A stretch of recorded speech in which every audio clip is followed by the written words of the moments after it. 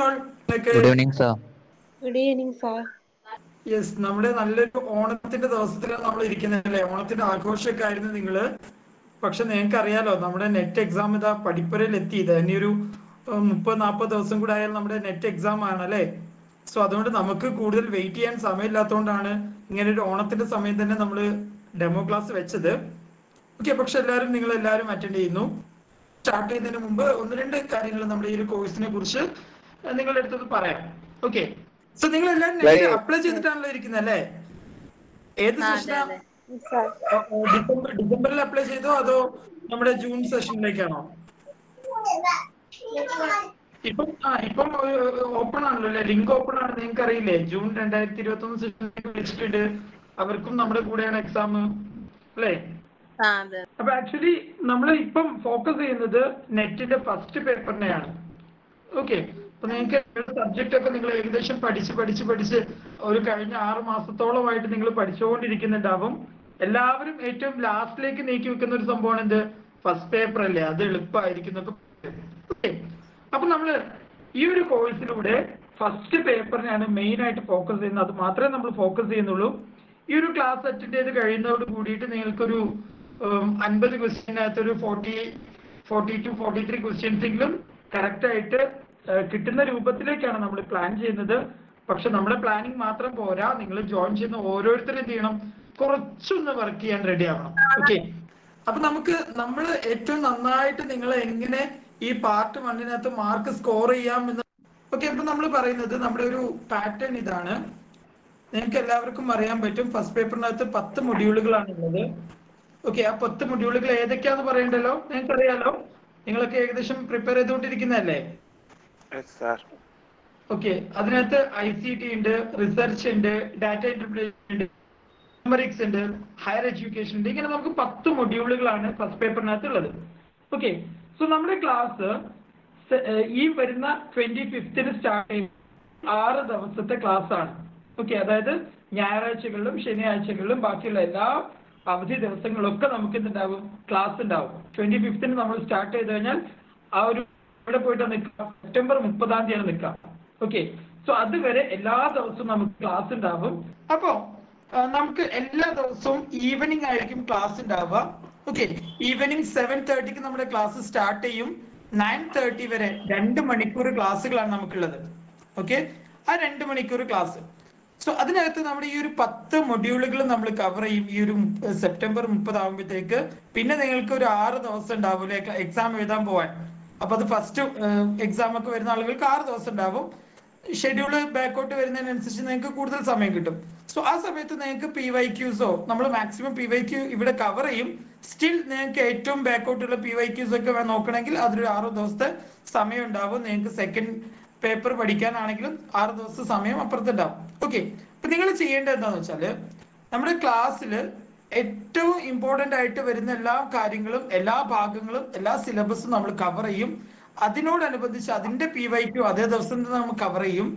നിങ്ങൾ പിറ്റത്തെ ദിവസം പോയിട്ട് ഒരു ഒന്നര മണിക്കൂറും കൂടെ സ്പെൻഡ് ചെയ്യാൻ റെഡി ആണെങ്കിൽ ഫസ്റ്റ് പേപ്പറിന് നിങ്ങൾ പിറ്റേ ദിവസം ഒന്ന് റിവൈസ് ചെയ്യാൻ എന്താണ് ഇന്നലെ പറഞ്ഞത് ഒന്ന് കാണാതെ പഠിക്കാൻ.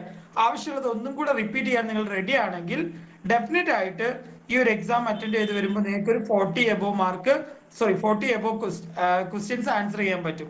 ഓക്കെ അതായത് എയ്റ്റി മാർക്സ് ഹൺഡ്രഡിൽ എയ്റ്റി എന്ന് പറഞ്ഞാൽ നെറ്റിനെ സംബന്ധിച്ച് എത്രത്തോളം ഉണ്ടെന്ന് എനിക്ക് അറിയാലോ അല്ലെ നമുക്ക് രണ്ട് ക്വസ്റ്റ്യൻ പോവാ പോയിട്ടാണ് നമ്മൾ എന്ത് ചെയ്യുന്നത്? നെറ്റോ ജെ ആർ എഫ് നമുക്ക് മിസ് ആവുന്നത്. ഓക്കെ പിന്നെ നമ്മളെ സംബന്ധിച്ചുള്ള ഏറ്റവും ഇമ്പോർട്ടന്റ് ആയിട്ടുള്ള ഒരു കാര്യം എന്താന്ന് വെച്ചാൽ നേരത്തെ പറഞ്ഞതുപോലെ തന്നെ ജൂൺ രണ്ടായിരത്തി ഇരുപത് സെഷനും ഡിസംബർ രണ്ട് ജൂൺ രണ്ടായിരത്തി ഇരുപത്തി ഒന്ന് സെഷനും ഡിസംബർ രണ്ടായിരത്തി ഇരുപത് സെഷനും കൂടെ ഒരുമിച്ചാണ് എക്സാം നടക്കുന്നത്. സോ അതിന്റെ അർത്ഥം നെറ്റ് അറ്റൻഡ് ചെയ്യുന്ന ആളുകളുടെ എണ്ണം കൂടുതലായിരിക്കും. ഓക്കെ നെറ്റ് അറ്റൻഡ് ചെയ്യുന്ന ആളുകളുടെ എണ്ണം കൂടിയാലുള്ള ഗുണം എന്താണെന്ന് വെച്ചാൽ അതിന് എത്ര പേരാണോ നെറ്റ് അറ്റൻഡ് ചെയ്തത് അതിനനുസരിച്ചാണ് നമുക്ക് എന്ത് ചെയ്യുന്നത്? പാസ് പെർസെന്റേജ് കണക്കാക്കുന്നത്. ഓക്കെ സോ ടോട്ടൽ എക്സാമിന് അപ്പിയർ ചെയ്ത ആളുകളിൽ സിക്സ് പെർസെന്റേജിനാണ് നെറ്റ് കൊടുക്കുന്നത്. നിങ്ങൾക്കറിയാലോ? ആ ഒരു ക്വാളിഫയിങ് കട്ട് ഓഫ് കവർ ചെയ്ത് കഴിഞ്ഞാൽ സിക്സ് പെർസെന്റേജിൽ കിട്ടും. സോ എത്രത്തോളം ആളുകൾ കൂടുതൽ അറ്റൻഡ് ചെയ്യുന്നു അത്രത്തോളം നമുക്ക് എന്താണ് പാസ് ആവാനും ജെ ആർ എഫ് സ്കോർ ചെയ്യാനുള്ള സാധ്യത കൂടുതലാണ്. സോ ഇത് നിങ്ങളുടെ ഒരു ഗോൾഡൻ ചാൻസ് ആണ്. അതെ. നമുക്ക് ഈവനിങ് ആയിരിക്കും നമ്മുടെ ക്ലാസ് ഉണ്ടാവുക ടൈമിംഗ് നല്ലൊരു ടൈം എന്ന് പറഞ്ഞാൽ ഇതല്ലേ? സെവൻ തേർട്ടിക്ക് തുടങ്ങിയിട്ട് നയൻ തേർട്ടി വരെ. രണ്ട് മണിക്കൂർ വേണ്ടേ? ഇൻകേസ് എന്തെങ്കിലും പ്രോബ്ലം ഉണ്ടെങ്കിൽ പിന്നെ ക്ലാസ് കിട്ടാൻ ചാൻസ് ഉണ്ടോ? ആ നിങ്ങൾക്ക് റെക്കോർഡഡ് ക്ലാസ് ഉണ്ടാകും ഓക്കെ റെക്കോർഡഡ് ക്ലാസ് ഉണ്ടാവും അതേപോലെ തന്നെ ആ ക്ലാസ്സിൽ നമ്മൾ ഉപയോഗിക്കുന്ന പി പി ഡി ഉണ്ടല്ലോ അതും ഗ്രൂപ്പിൽ ഷെയർ ചെയ്യും. ഓക്കെ ജോയിൻ ചെയ്തവരെ വെച്ചിട്ട് നമുക്കൊരു വാട്സാപ്പ് ഗ്രൂപ്പ് ഉണ്ടാവും അപ്പൊ ഗ്രൂപ്പിനകത്തൂടെ എല്ലാ ദിവസവും കഴിഞ്ഞ ഉടനെ തന്നെ നിങ്ങൾക്ക് എന്ത് ചെയ്യും? റെക്കോർഡഡ് വോയിസ് ഷെയർ ചെയ്യും. ഇൻ കേസ് നെറ്റ്വർക്ക് ഇഷ്യൂ ഉണ്ടെങ്കിൽ പിറ്റേ ദിവസം രാവിലെ വോയിസ് ഷെയർ ചെയ്യും. ഒരുന്നൂറ്റി തൊണ്ണൂറ്റി ഒമ്പത് രൂപയാണ്. അതായത് ആയിരത്തി ഇരുന്നൂറ് രൂപയാണ് ഫീസ് മൊത്തം സിലബ് കോഴ്സിന്റെ ഫീസ് ആയിരത്തി ഇരുന്നൂറ് രൂപയാണ്. സോ അതടച്ചാൽ നമുക്ക് എന്ത് ചെയ്യാം നെക്സ്റ്റ് ഇരുപത്തഞ്ച് മുതൽ ക്ലാസ് ജോയിൻ ചെയ്യാം. സോ നിങ്ങൾ ഇപ്പൊ ഇന്ന് നമ്മൾ ഒരു രണ്ട് മണിക്കൂർ ക്ലാസ് എടുത്താൽ നാളെ മോർണിംഗ് ഒരു ഒന്നര മണിക്കൂറും കൂടെ അതിന് നിങ്ങൾ ചെലവഴിച്ചാൽ മതി. നിങ്ങൾ ഈ പറയുന്ന എല്ലാ ടോപ്പിക്സും എല്ലാ സബ്ജക്ട്സും നമ്മൾ ഏറ്റവും നന്നായിട്ട് കവർ ചെയ്യും. സോ ഇന്നലെ കേട്ട കാര്യങ്ങൾ നിങ്ങളൊന്ന് ബൈഹാർട്ട് ചെയ്യാനും അതേപോലെ തന്നെ ആവശ്യമുള്ളത് ഒന്നും കൂടെ റിപ്പീറ്റ് ചെയ്യാനും വേണ്ടി ഒരു ഒന്നര മണിക്കൂറും കൂടെ എക്സ്ട്രാ നിങ്ങൾ എഫേർട്ട് എടുത്തു കഴിഞ്ഞാൽ ഫസ്റ്റ് പേപ്പർ ഓക്കെ ആയി. ഇത് നമ്മുടെ ക്ലാസ് ഇപ്പൊ ഓൾട്ടർനേറ്റ് ഡേയ്സിലാണ് ഒരു ഒരു സബ്ജക്ട് നമ്മൾ നാല് ദിവസം കൊണ്ട് കവർ ചെയ്യും. അതായത് ടോട്ടൽ നമ്മൾ ഒരു ഒരു എട്ട് ദിവസം കൊണ്ട് രണ്ട് സബ്ജക്ട്സ് കവർ ചെയ്യുന്ന രൂപത്തിലാണ് ക്ലാസ് ഷെഡ്യൂൾ ചെയ്തിട്ടുള്ളത് ഷെഡ്യൂൾ ഞാൻ നിങ്ങൾക്ക് തരാം. ഓക്കെ ഈ ക്ലാസിന്റെ റെക്കോർഡുകൾ കിട്ടുമോ പിന്നീട് നമ്മൾ പിന്നീട് നോക്കുന്ന രൂപത്തിൽ കഴിയോ. ഓരോ ക്ലാസ് ഓരോ ക്ലാസ് കഴിഞ്ഞിട്ടും അതിന്റെ വോയിസ് റെക്കോർഡോ അല്ലെങ്കിൽ വീഡിയോ റെക്കോർഡോ ഉണ്ടാവും. ഇപ്പൊ നമുക്ക് വോയിസ് റെക്കോർഡാണ് പ്രൊവൈഡ് ചെയ്യുക പിന്നീട് നമ്മൾ നോക്കിയിട്ട് ചിലപ്പം വീഡിയോ റെക്കോർഡ് തന്നെ തരാൻ ശ്രമിക്കും. പക്ഷെ അത് ഉറപ്പില്ല. അപ്പൊ നമ്മൾ വോയിസ് റെക്കോർഡ് എന്തായാലും ഉണ്ടാവും. നമുക്ക് എന്തെങ്കിലും ഡിസ്കഷൻ ഉണ്ടെങ്കിൽ ക്ലാസ് കഴിഞ്ഞതിന് ശേഷം എടുക്കാം. ഓക്കെ ബഷീർ സാറെ നബിൻ നബിൽ സാർ റെഡി ആയിട്ടുണ്ടല്ലോ അല്ലേ? ക്ലാസ്സിന് ഓക്കെ ആണല്ലോ സാർ അല്ലേ? ഓക്കെ ഞാൻ okay ആണ്. ജസ്റ്റ് ഓക്കെ ജസ്റ്റ് ഞാനൊന്ന് ഒന്ന് ജസ്റ്റ് ഒന്ന് സംസാരിച്ചിട്ട് നമ്മൾ വേഗം ക്ലാസ്സിലേക്ക് പോവാം. എല്ലാ ആളുകളും വളരെ താല്പര്യത്തോടു കൂടിയാണ്. നിങ്ങളുടെ ഓരോ സംശയങ്ങൾ കേൾക്കുമ്പോഴും നമ്മുടെ സമയം കുറവാണെങ്കിൽ പോലും നിങ്ങളുടെ സംശയങ്ങൾക്കൊക്കെ ചെവി കൊടുത്തിട്ടുള്ളത് നമ്മൾ ഏറെ സന്തോഷത്തോടു കൂടിയാണ്. അപ്പോൾ നിങ്ങളെല്ലാവരെയും ഈ ഒരു പ്രോഗ്രാമിലേക്ക് പ്രത്യേകമായിട്ട് ഇൻവൈറ്റ് ചെയ്യാണ് നിങ്ങളുടെ എല്ലാ സംശയങ്ങൾക്കുള്ള ഒരു മറുപടി ആയിട്ടാണ് നമ്മൾ ഈ ഒരു ജനറൽ പേപ്പറിന്റെ ടോപ്പിക്കായിട്ട് വന്നിട്ടുള്ളത്. നിങ്ങൾ പരീക്ഷയുടെ ഒരാഴ്ച മുമ്പേ നിങ്ങൾ ഫ്രീ ആണെങ്കിൽ പോലും നിങ്ങൾ അതിനിടയിൽ നമ്മുടെ കൂടെ വളരെ ആത്മവിശ്വാസത്തോടു കൂടി നിങ്ങൾ വരുന്നുണ്ടെങ്കിൽ നിങ്ങൾക്ക് തീർച്ചയായിട്ടും പിന്നെ ഒരു സമയത്തിന്റെ ആവശ്യമില്ല. നമ്മളെ കൂടെ നിന്നുകൊണ്ട് നിങ്ങൾ പഠിച്ചിട്ട് പോകും നമ്മളെ കൂടെ നിന്നുകൊണ്ട് ഡിസ്കസ് ചെയ്തിട്ട് പോകും നമ്മൾ ഈ ആയിരത്തി ഇരുന്നൂറ് രൂപ നിങ്ങളോട് വാങ്ങിക്കുന്നതിന്റെ അപ്പുറം നിങ്ങൾക്ക് എല്ലാ നിലക്കും സപ്പോർട്ട് നൽകി നിങ്ങൾ പരീക്ഷ ഹാളിൽ നിന്ന് നിങ്ങൾ ഇറങ്ങി നല്ല പ്രസന്റ് നിങ്ങൾ പരീക്ഷ ഹാളിൽ നിന്ന് ഇറങ്ങി വരണം. നിങ്ങളെ നിങ്ങളെ ആ ഒരു പ്രസൻസ് ഓഫ് മൈൻഡിൽ നിങ്ങളെ എക്സാമിൽ നിങ്ങളെ എത്തിക്കുക എന്നുള്ളതാണ്. അതാണ് നമ്മൾ ഇതിൽ പ്ലാൻ ചെയ്തിട്ടുള്ളത്. ഫോക്കസ് അക്കാദമി ആയിട്ട് അസോസിയേറ്റ് ചെയ്തുകൊണ്ടുള്ള ഈ കൊമേഴ്സ് ഹവേഴ്സിന്റെ ഈ ഒരു പ്രോഗ്രാമിലേക്ക് എല്ലാവർക്കും ഒരിക്കൽ കൂടി സ്വാഗതം ചെയ്യാണ് നബീൽ സാർ. സ്റ്റാർട്ട് ചെയ്തോളൂ sir. So very good evening all thank you good evening yes good evening okay okay so നമുക്ക് എന്തായാലും നമ്മുടെ ക്ലാസ് സ്റ്റാർട്ട് ചെയ്യാം. ഒരു ജസ്റ്റ് ഒരു ഇൻട്രോ നിങ്ങൾക്ക് എല്ലാവർക്കും കിട്ടി ഞാൻ വിചാരിക്കുന്നു. സോ നിങ്ങളുടെ ബാക്കിയുള്ള കൺസേൺസും ഡൗട്ട്സും കാര്യങ്ങളെല്ലാം നമ്മൾ ലാസ്റ്റ് ഡിസ്കസ് ചെയ്ത് എല്ലാവരുടെയും മൈൻഡ് ഫ്രീ ആക്കിയിട്ട് ഇവിടുന്ന് നമ്മൾ പോകത്തുള്ളൂ. ഓക്കെ അപ്പോ ആദ്യം എന്നെ ഇൻട്രൊഡ്യൂസ് ചെയ്യാം. അതിനു മുൻപ് നിങ്ങൾ എല്ലാവരുടെയും മൈക്ക് എന്ത് ചെയ്യുക ഒന്ന് ജസ്റ്റ് ഓഫ് ആക്കുക നിങ്ങൾക്ക് ആവശ്യം ഉണ്ടാകുന്ന സമയത്ത് ഞാൻ എടുക്കുന്ന സബ്ജക്റ്റുകളിൽ വല്ല ഡൗട്ട് ഒക്കെ വരുന്ന സമയത്ത് നിങ്ങൾക്ക് അൺമ്യൂട്ട് ചെയ്യാം. എന്നോട് ചോദിക്കാം. ഓക്കെ ചാറ്റ് ബോക്സിൽ നിങ്ങൾ അങ്ങനെ ഡൗട്ട്സ് ചോദിക്കേണ്ട. കാരണം ഞാൻ അത് ശ്രദ്ധിക്കത്തില്ല. ലാസ്റ്റ് ഒക്കെ അത് വരത്തുള്ളൂ. സോ എന്തെങ്കിലും ഞാൻ പറയുന്ന പോയിന്റുകളിൽ സാർ അത് എനിക്ക് ക്ലിയർ ആയിട്ടില്ല ഒന്നും കൂടെ വേണം അങ്ങനെയൊക്കെ തോന്നുന്നുണ്ടെങ്കിൽ നിങ്ങൾക്ക് എന്നെ എന്ത് ചെയ്യാം? ഇന്ററപ്റ്റ് ചെയ്യാം. യെസ് സാർ ഓക്കെ സോ ഓഡിയോയിൽ വല്ല ബ്രേക്കോ എന്തെങ്കിലുമൊക്കെ വരുന്നുണ്ടെങ്കിൽ പറയണം. അറിയാലോ ഓൺലൈൻ പ്ലാറ്റ്ഫോം ആണ്. കുറെ ബെനിഫിറ്റുകൾ ഉണ്ട്. അതേപോലെ കുറെ ലിമിറ്റേഷൻസും ഉണ്ട്. സോ എനിവേ നമ്മൾ നമ്മുടെ ഈ ഒരു പാൻഡമിക് പീരീഡിൽ നമ്മൾ പറ്റുന്ന രീതിയിൽ മാക്സിമം നമ്മൾ എന്ത് ചെയ്യുന്നുണ്ട്? നിങ്ങൾക്ക് പ്രൊവൈഡ് ചെയ്യും. സോ ഞാൻ എന്നെ ഇൻട്രൊഡ്യൂസ് ചെയ്യാം. എന്റെ പേര് മുഹമ്മദ് നബീൽ എന്നാണ്. നാല് വർഷമായിട്ട് ടീച്ചിങ് ഫീൽഡിലുണ്ട് ഇപ്പോ അറ്റ് പ്രസന്റ് ഒരു റിസർച്ച് ചെയ്തുകൊണ്ടിരിക്കുകയാണ്. ചെയ്തുകൊണ്ടിരിക്കുകയാണ്. ഫിനാൻഷ്യൽ റിസർച്ച് ചെയ്തുകൊണ്ടിരിക്കുന്നു. ഓക്കെ സോ എന്റെ വീട് മണ്ണാർക്കാടാണ്. പാലക്കാട് ഡിസ്ട്രിക്റ്റിലെ മണ്ണാർക്കാട് എന്ന് പറയുന്ന ഒരു പ്ലേസിലാണ് ഞാൻ പറയാൻ കാരണം എന്ന് വെച്ചാൽ നമ്മുടെ ഈ ഒരു ഈ ഒരു ഫാമിലിയിൽ പല ഡിസ്ട്രിക്റ്റിലുള്ള ആളുകളുണ്ട്. Okay so anyway commerce hours എന്നുള്ള ആ ഒരു ഇൻസ്റ്റിറ്റ്യൂട്ടും അത് നമ്മുടെ ഈ ഫോക്കസ് അക്കാഡമിയുമായിട്ട് അലയൻസിൽ ഏർപ്പെട്ട് നമ്മൾ നല്ല രീതിയിൽ ഒരു ക്ലാസ് പ്രൊവൈഡ് ചെയ്യാൻ പോവാണ്. സോ നിങ്ങൾക്ക് എല്ലാവർക്കും ഈ ഒരു ക്ലാസ് യൂസ്ഫുൾ ആവട്ടെ എന്ന് ഞാൻ എന്ത് ചെയ്യുന്നു വിഷ് ചെയ്യുന്നു. സോ അതെ- ഒരു ഇൻട്രോ നിങ്ങൾക്ക് ഏകദേശം കിട്ടിയിട്ടുണ്ടായിരിക്കും. നമ്മൾ ജനറൽ പേപ്പർ ആണ് നമ്മൾ മെയിൻ ആയിട്ടും നമ്മൾ ഇതിലൂടെ പ്രൊവൈഡ് ചെയ്യാൻ ഉദ്ദേശിക്കുന്നത്. അപ്പൊ നിങ്ങൾക്ക് അറിയാം ജനറൽ പേപ്പറിന്റെ സിലബസ് നിങ്ങൾ ശ്രദ്ധിച്ചിട്ടുണ്ടാവും ഞാൻ വിചാരിക്കുന്നു. സോ ഫസ്റ്റ് ഓഫ് ഓൾ നിങ്ങൾ എല്ലാവരും നെറ്റ് ജെ ആർ എഫ് എന്നുള്ള ഒരു മൈൻഡ് സെറ്റിലാണെങ്കിൽ ആദ്യം നിങ്ങൾ ചെയ്യേണ്ടത് നിങ്ങൾ ഓൾറെഡി അപ്ലൈ ചെയ്തിട്ടുണ്ടായിരിക്കും. രണ്ടാമത് ചെയ്യേണ്ടത് അതിന്റെ സിലബസ് ഒന്ന് എടുത്തിട്ട് എന്ത് ചെയ്യണം? കംപ്ലീറ്റ് ആയിട്ട് ഒന്ന് ഇരുന്ന് വായിച്ചു നോക്കണം. ഓക്കെ സോ മെയിൻ ആയിട്ട് നമ്മുടെ ജനറൽ പേപ്പറിന്റെ നമ്മൾ നോക്കുകയാണെന്നുണ്ടെങ്കിൽ പത്ത് യൂണിറ്റുകളാണ് വരുന്നത്. അല്ലെ? പത്ത് യൂണിറ്റുകൾ വരുന്നുണ്ട് ജനറൽ പേപ്പറിൽ അതിൽ ഞാൻ എടുക്കാൻ പോകുന്നത് ഞാൻ ഡിസ്കസ് ചെയ്യാൻ പോകുന്നത് ഡിസ്കസ് എന്നാണ് ഞാൻ പറഞ്ഞത് കേട്ടോ ഞാൻ എടുക്കാൻ പോകുന്നതല്ല ക്ലാസ് എടുക്കല്ല. നമ്മൾ ഡിസ്കസ് ചെയ്യാൻ പോകുന്ന പേപ്പർ എന്ന് പറയുന്നത് റിസർച്ച് ആപ്റ്റിറ്റ്യൂഡ് ആണ്. റിസർച്ചിനെ കുറിച്ചിട്ടാണ് എന്താണ് റിസർച്ച് എന്തിനു വേണ്ടിയിട്ടാണ് ഈ റിസർച്ച് നടത്തുന്നത് ഏതെല്ലാം ടൈപ്പ് റിസർച്ചുകൾ ഉണ്ട് എന്താണ് ഒരു റിസർച്ച് റിപ്പോർട്ട് അങ്ങനെ കുറച്ച് കണ്ടന്റുകളാണ് നമ്മൾ എന്ത് ചെയ്യുന്നത് ഈ ഒരു കുറഞ്ഞ സമയം കൊണ്ട് നമ്മൾ ഡിസ്കസ് ചെയ്യുന്നത്. അപ്പൊ നമ്മുടെ ക്ലാസ് ഏകദേശം ഒരു രണ്ട് മണിക്കൂർ ഉണ്ടാകും അതിൽ നമ്മൾ പ്രീവിയസ് ക്വസ്റ്റ്യൻസും ഡിസ്കഷൻസും കാര്യങ്ങളൊക്കെ ആയിട്ടായിരിക്കും നമ്മൾ എന്ത് ചെയ്യുക മുന്നോട്ട് പോവാം. യെസ് അപ്പോ നമുക്ക് സ്റ്റാർട്ട് ചെയ്യാം. ഓക്കെ ഞാൻ എന്റെ സ്ക്രീൻ ഒന്ന് നിങ്ങൾക്ക് ഷെയർ ചെയ്യാം. അപ്പോൾ റിസർച്ച് ആപ്റ്റിറ്റ്യൂഡ് അപ്പോൾ എല്ലാവർക്കും അറിയാലോ. മെയിൻ ആയിട്ടും റിസർച്ചിനെ കുറിച്ചിട്ടാണ്. റിസർച്ചിന്റെ ബേസിക് ആയിട്ടുള്ള കാര്യങ്ങൾ. അതായത് എന്താണ് റിസർച്ച് അതിന്റെ മീനിങ് മുതൽ റിസർച്ച് റിപ്പോർട്ടിംഗ് വരെയാണ് നമ്മൾ ഈ ഒരു യൂണിറ്റിൽ നമ്മൾ പഠിക്കുന്നത്. രണ്ടാമത്തെ യൂണിറ്റ് ആണ്. മൊത്തം പത്ത് യൂണിറ്റുകൾ ഉണ്ട്. അതിലെ രണ്ടാമത്തെ യൂണിറ്റ് ആണ് റിസർച്ച് ആപ്റ്റിറ്റ്യൂഡ് എന്ന് പറഞ്ഞിട്ടുള്ള ഇത്. ഇനി ഇത് നമ്മൾ ശ്രദ്ധിക്കുന്നത് ഇപ്പൊ നിങ്ങളുടെ ഈ ഒരു ഗ്രൂപ്പിൽ കുറെ പേര് കോമേഴ്സ് ബാക്ക്ഗ്രൗണ്ടിലുള്ള ആളുകൾ ഉണ്ടായിരിക്കും മാനേജ്മെന്റ് ബാക്ക്ഗ്രൗണ്ടിലുള്ള ആളുകൾ ഉണ്ടായിരിക്കും പല ആളുകളുണ്ട്. കമ്പ്യൂട്ടർ സയൻസ് ഒക്കെ ഉണ്ട് തോന്നുന്നു ഐ തിങ്ക് സോ നമ്മൾ ഡാറ്റ കളക്ട് ചെയ്യും അപ്പോൾ നമുക്ക് ഏകദേശം ഐഡിയ കിട്ടും.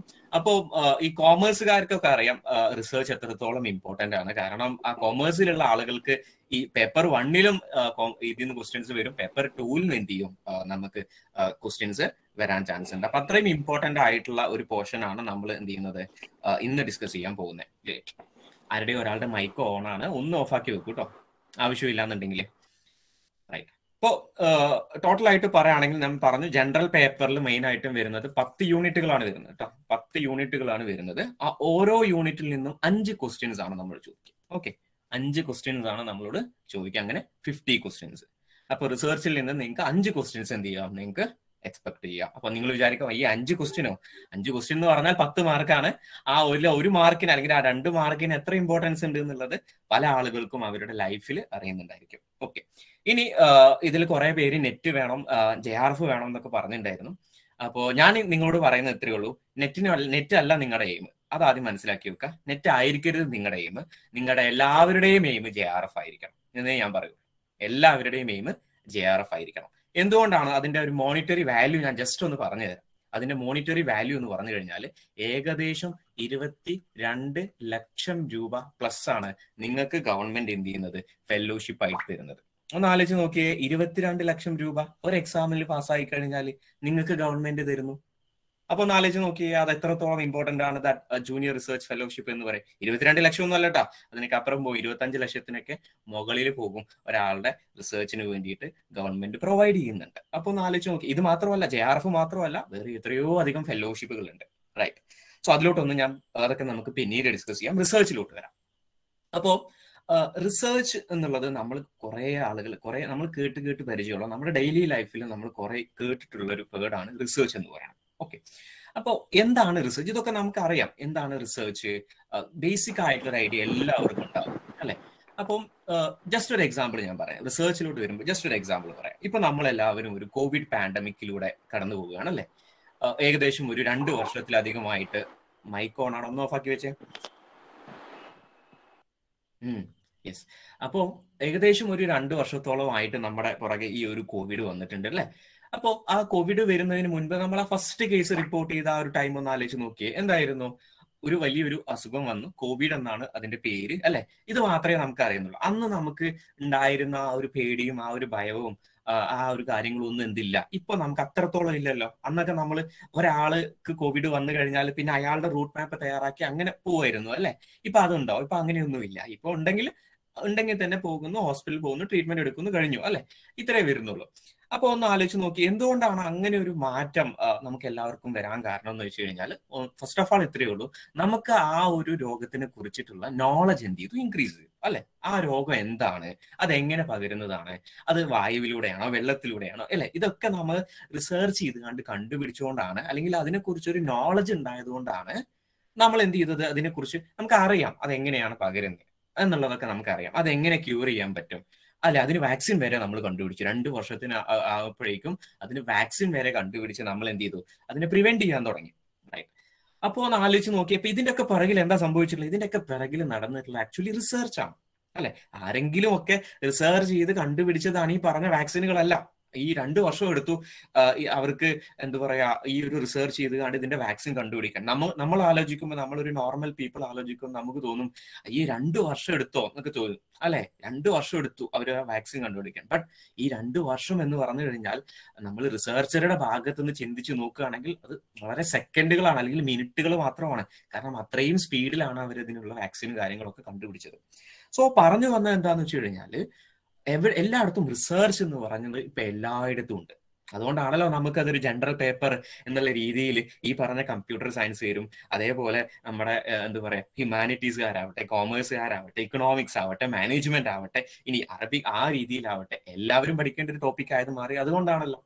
റൈറ്റ് അപ്പം അതിനെ കുറിച്ചാണ് സോ വാട്ട് ഈസ് റിസർച്ച് അപ്പോൾ അതിന് പോകുന്നതിന് മുമ്പ് നമ്മുടെ യൂണിറ്റ് ടു അതല്ലെങ്കിൽ റിസർച്ച് ആപ്റ്റിറ്റ്യൂഡ് എന്ന് പറഞ്ഞ ഈ ഒരു യൂണിറ്റിൽ എന്തെല്ലാം കാര്യങ്ങളാണ് കവർ ചെയ്യുന്നതെന്ന് ജസ്റ്റ് ഒന്ന് നോക്കാം. ഒന്ന് നമ്മുടെ ബേസിക് ആയിട്ട് എന്താണ് research what is research and what is the meaning of research and what is what are the types of research പല ടൈപ്പ് ഓഫ് റിസർച്ചുകളുണ്ട് അല്ലെ? ഇപ്പൊ ഞാൻ ഇപ്പൊ ഈ പറഞ്ഞ ഒരു റിസർച്ച് നമ്മൾ കോവിഡിനെ കുറിച്ച് നമ്മൾ റിസർച്ച് നടത്തുന്നുണ്ടെന്ന് പറഞ്ഞു അല്ലെ? അതൊരു ടൈപ്പ് ഓഫ് റിസർച്ച് ആണ്. അതേപോലെ ഇപ്പോ സാധാരണ ഈ പി എച്ച് ഡിക്കാരൊക്കെ ചെയ്യുന്ന അതൊരു വേറൊരു ഡിഫറെന്റ് ടൈപ്പ് ഓഫ് റിസർച്ച് ആണ്. നമ്മുടെ ഐസക് ന്യൂട്ടൺ അതേപോലെ നമ്മുടെ തോമസ് ആൽവ എഡിസൺ അല്ലെങ്കിൽ അങ്ങനെയുള്ള കുറെ ആളുകൾ ഉണ്ടായിരുന്നല്ലോ. അല്ലെ? പുതിയ പുതിയ തിയറീസും കാര്യങ്ങളൊക്കെ കൊണ്ടുവന്ന് അവർ ചെയ്ത റിസർച്ച് എന്ന് പറഞ്ഞാൽ ഇറ്റ്സ് സംതിങ് ഡിഫറെന്റ് ഡിഫറെന്റ് ആയിട്ടുള്ള റിസർച്ച് ആണ്. അതേപോലെ എക്കണോമിക്സുകാർ ചെയ്യുന്ന റിസർച്ച് ഡിഫറെന്റ് ആണ്. ഡിഫറെന്റ് ഫ്രം അറബിക് അല്ലെ? അങ്ങനെ ഓരോന്നും ഓരോ ടൈപ്പ് ഓഫ് റിസർച്ചുകൾ ഉണ്ട് സോ ഏതെല്ലാം ടൈപ്പ് ഓഫ് റിസർച്ചുകൾ ഉണ്ട് അതിൽ ഏതെല്ലാം ഏത് സിറ്റുവേഷൻസിലാണ് നമ്മൾ യൂസ് ചെയ്യുന്നത്? അതേപോലെ തന്നെ ക്യാരക്ടറിസ്റ്റിക്സ് ഓഫ് റിസർച്ച് അതേപോലെ എന്താണ് പോസിറ്റിവിസം അതേപോലെ എന്താണ് പോസിറ്റീവ് പോസിറ്റിവിസ്റ്റിക് അപ്രോച്ച് എന്നൊക്കെ പറഞ്ഞ് കേൾക്കുമ്പോൾ വലിയ സംഭവം തോന്നുന്നു അങ്ങനെയൊന്നും ഇല്ല കേട്ടാ സിമ്പിൾ സിമ്പിൾ സംഭവങ്ങളാണ്. മെത്തേഡ്സ് ഓഫ് റിസർച്ചുകൾ ഏതൊക്കെയാണ്? അതേപോലെ ഒരു റിസർച്ചിലെ സ്റ്റെപ്സുകൾ ഏതൊക്കെയാണ്? എവിടെ നിന്നാണ് ഒരു റിസർച്ച് സ്റ്റാർട്ട് ചെയ്യുന്നത്? എവിടെയാണ് ഒരു റിസർച്ച് എൻഡ് ചെയ്യുന്നത്? അതിന്റെ ഇടയിൽ എത്രത്തോളം സ്റ്റെപ്പുകൾ ഉണ്ട്? ആ ഓരോ സ്റ്റെപ്പുകളും നമ്മൾ ഡീറ്റെയിൽ ആയിട്ട് കവർ ചെയ്യുന്നുണ്ട്. അതേപോലെ എങ്ങനെയാണ് നമുക്ക് ഒരു തീസിസ് റൈറ്റ് ചെയ്യാൻ പറ്റുക? എങ്ങനെ തീസിസ് റൈറ്റ് ചെയ്യണം? അല്ലെങ്കിൽ ജേണൽ ആർട്ടിക്കിൾസ് എങ്ങനെ പബ്ലിഷ് ചെയ്യണം? അല്ലെങ്കിൽ ജേണൽ ആർട്ടിക്കിൾസിന്റെ റൈറ്റിംഗ് ഫോർമാറ്റുകൾ എന്തൊക്കെയാണ്? ഇപ്പൊ ഈ പറയുന്ന ടേമുകളൊക്കെ കേൾക്കുമ്പോൾ വലിയ സംഭവമായിട്ട് തോന്നും. ഒന്നുമില്ല. തീസിസ് എന്ന് പറഞ്ഞാൽ സിമ്പിൾ ആക്കി പറഞ്ഞുതരാം. നമ്മളെല്ലാവരും എന്താ പറയാ പി ജിയിൽ നമ്മൾ ഡിഗ്രി പി ജി അല്ലെങ്കിൽ ഡിഗ്രി കംപ്ലീറ്റ് ആക്കി നമ്മളൊരു പ്രൊജക്ട് റിപ്പോർട്ട് സബ്മിറ്റ് ചെയ്യില്ലേ? അല്ലെ? അപ്പൊ അത് തന്നെ ഒരു പി എച്ച് ഡി കാരൻ ചെയ്ത് കഴിഞ്ഞാൽ എന്താണോ അതിനെയാണ് നമ്മൾ തീസിസ് എന്ന് പറയുന്നത്. അല്ലെങ്കിൽ ഡെസേർട്ടേഷൻ എന്നൊക്കെ നമ്മൾ പറയും എം ഫില്ലുകാരുടെ അതേപോലെ ആർട്ടിക്കിൾ എന്ന് പറഞ്ഞ ജേണൽ ആർട്ടിക്കിൾസ് ഇതൊക്കെ നമുക്ക് വഴി വഴി ഡിസ്കസ് ചെയ്യാം. ജസ്റ്റ് അറിഞ്ഞിരിക്കാൻ മതി. അതേപോലെ തന്നെ റെഫറൻസ് സ്റ്റൈലുകൾ എന്താണ്? റെഫറൻസ് എന്നൊക്കെ നമ്മൾ പറയും. ഇങ്ങനെ പല ടൈപ്പ് ഓഫ് റെഫറൻസ് സ്റ്റൈലുകൾ ഉണ്ട് ദെൻ ഇൻഫർമേഷൻ കമ്മ്യൂണിക്കേഷൻ ടെക്നോളജി എങ്ങനെ നമുക്ക് റിസർച്ചിൽ എന്താ പറയാ ഇൻകോർപ്പറേറ്റ് ചെയ്യാൻ പറ്റും? ദെൻ എന്താണ് റിസർച്ച് എത്തിക്സ് അതേപോലെ റിസർച്ച് എത്തിക്സുമായി ബന്ധപ്പെട്ട കുറച്ച് കാര്യങ്ങൾ. ഓക്കെ ഇത്രയൊക്കെയാണ് റിസർച്ച് ആപ്റ്റിറ്റ്യൂഡ് എന്ന് പറഞ്ഞ് യൂണിറ്റിൽ നിന്ന് വരുന്നത്. ഓക്കെ അപ്പൊ ഈ എല്ലാ പോർഷൻസിൽ നിന്നും വരുന്ന ക്വസ്റ്റ്യൻസിന്റെ എണ്ണം ഞാൻ പറഞ്ഞു. അഞ്ച് ക്വസ്റ്റ്യൻസ് ആണ്. അതായത് പത്ത് മാർക്കിനാണ് നമ്മളോട് ചോദിക്കുക ഓക്കെ അതാർക്ക് ജനറൽ പേപ്പറുകാർക്ക് മാത്രമാണ്. കോമേഴ്സുകാർക്ക് വീണ്ടും അതിൽ നിന്ന് റിസർച്ചിൽ നിന്ന് വരും കേട്ടോ വളരെ ഇമ്പോർട്ടന്റ് ആയിട്ടുള്ള പോർഷൻസ് ആണ് റിസർച്ചിലെ എല്ലാ പോർഷൻസും ഷുവർ ക്വസ്റ്റ്യൻസ് ആണ് അതിൽ നിങ്ങൾക്ക് ഒരു ഡൗട്ടും വേണ്ട. അപ്പൊ ഇതിൽ കുറെ ടേമുകൾ ചില ആളുകൾക്ക് പല ആളുകൾക്കും ഒരു പരിചയം ഉണ്ടാവില്ല. കാരണം അതിൽ കുറെ ആളുകൾ പി ജി അല്ലെങ്കിൽ കംപ്ലീറ്റ് ചെയ്തിട്ട് കുറെ ആളുകൾ ഉണ്ടായിരിക്കും. പി ജി തേർഡ് സെമസ്റ്ററിൽ പഠിക്കുന്ന ആളുകൾ ഉണ്ടായിരിക്കും. അല്ലെ വർക്കിംഗ് ആയിട്ടുള്ള ആളുകൾ ഉണ്ടായിരിക്കും. സോ എല്ലാവരെയും കൺസിഡർ ചെയ്തിട്ട് എല്ലാവരുടെയും ബേസിക് ആയിട്ട് ആദ്യമായിട്ട് റിസർച്ച് പഠിക്കുന്ന ആളുകൾ ഇതിലുണ്ടായിരിക്കും. കാരണം കോമേഴ്സുകാരോ അല്ലെങ്കിൽ ബാക്കിയുള്ള ഈ അറബിക് അല്ലെങ്കിൽ ഹ്യൂമാനിറ്റീസ് അല്ലെങ്കിൽ അവരുള്ള ആളുകളൊക്കെ ചിലപ്പോൾ മേ ബി എനിക്ക് അറിയത്തില്ല അവരുടെ എങ്ങനെയാണെന്ന് അറിയത്തില്ല. മേ ബി അവർക്ക് റിസർച്ച് എന്നുള്ളത് മേ ബി ഒരു ഫസ്റ്റ് ടൈം ആയിട്ടായിരിക്കാം. അറിയത്തില്ല കേട്ടോ. അതുകൊണ്ടാണ് പറഞ്ഞത്. ഞാൻ നിങ്ങളെ കൊച്ചാക്കി എന്നല്ല പറഞ്ഞത്. എനിക്കറിയില്ല. ഓക്കെ അപ്പം അപ്പോ അവിടുന്നാണ് അതൊരു ബേസിക് ആയിട്ടുള്ള ഒരു ഫ്രഷർ അയാളുടെ അവിടെ നിന്നാണ് ഞാൻ സ്റ്റാർട്ട് ചെയ്യുന്നത്. അപ്പൊ നിങ്ങൾക്ക് എന്ത് ഡൗട്ട് ഉണ്ടെന്നുണ്ടെങ്കിലും എന്താ പറയാ എന്താ പറയാ നിങ്ങൾക്ക് എന്ത് എന്ത് ഡൗട്ട് ചോദിക്കാം.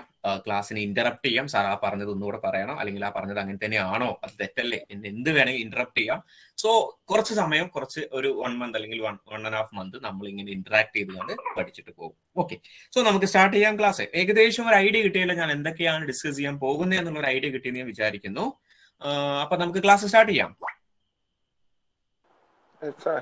യെസ് ഓക്കെ അപ്പൊ എന്റെ ഓഡിയോയിലോ എന്തെങ്കിലുമൊക്കെ ബ്രേക്ക് ഉണ്ടെങ്കിൽ പറയണം കേട്ടോ. Yes we are introducing research എന്താണ് റിസർച്ച് അപ്പോൾ ഏകദേശം ഒരു ഐഡിയ ഇപ്പൊ നിങ്ങൾക്ക് കിട്ടിയിട്ടുണ്ടായിരിക്കും എന്താണ് റിസർച്ച് റിസർച്ച് എന്ന് പറഞ്ഞാൽ അതിന്റെ വേർഡ് മീനിങ് തന്നെയാണത്. അത്രേ ഉള്ളൂ. Research itself self self explanatory ആണ്. അതായത് റിസർച്ച് എന്ന് പറഞ്ഞു കഴിഞ്ഞാൽ റീസെർച്ചിങ് നമ്മൾ വീണ്ടും വീണ്ടും വീണ്ടും ഇങ്ങനെ എന്ത് ചെയ്യുക? സെർച്ച് ചെയ്തുകൊണ്ടേയിരിക്കുക. അതിനെയാണ് നമ്മൾ റിസർച്ച് എന്ന് പറയുന്നത്. ഓക്കെ അപ്പോൾ ഒരു റിസർച്ച് റിസർച്ച് ചെയ്യുന്ന ആളുകളെയാണ് നമ്മൾ റിസർച്ചർ എന്ന് പറയുന്നത്. അപ്പോ റിസർച്ച് എന്ന് പറഞ്ഞു കഴിഞ്ഞാൽ is a search for new knowledge and facts പുതിയ പുതിയ അറിവുകൾ പുതിയ പുതിയ നോളജ് കിട്ടാൻ വേണ്ടിയിട്ട് നമ്മൾ നടത്തുന്നതിനെയാണ് നമ്മൾ റിസർച്ച് എന്ന് പറയുന്നത് അപ്പൊ ഞാൻ പറഞ്ഞു പല ടൈപ്പ് ഓഫ് റിസർച്ചുകൾ ഉണ്ട് അതായത് ചില റിസർച്ചുകൾ തിയറി ഡെവലപ്പ് ചെയ്യാൻ വേണ്ടിയിട്ട് റിസർച്ച് ചെയ്യാറുണ്ട്. ഇപ്പോൾ ഞാൻ പറയാം എ എന്ന് പറയാ E is equal to M C square വളരെ ഫേമസ് ആയിട്ടുള്ള ഒരു ഇക്വേഷൻ ആണ് അല്ലെ? E is equal to M C square ഇത് ആര് കൊണ്ടുവന്നായിരുന്നു?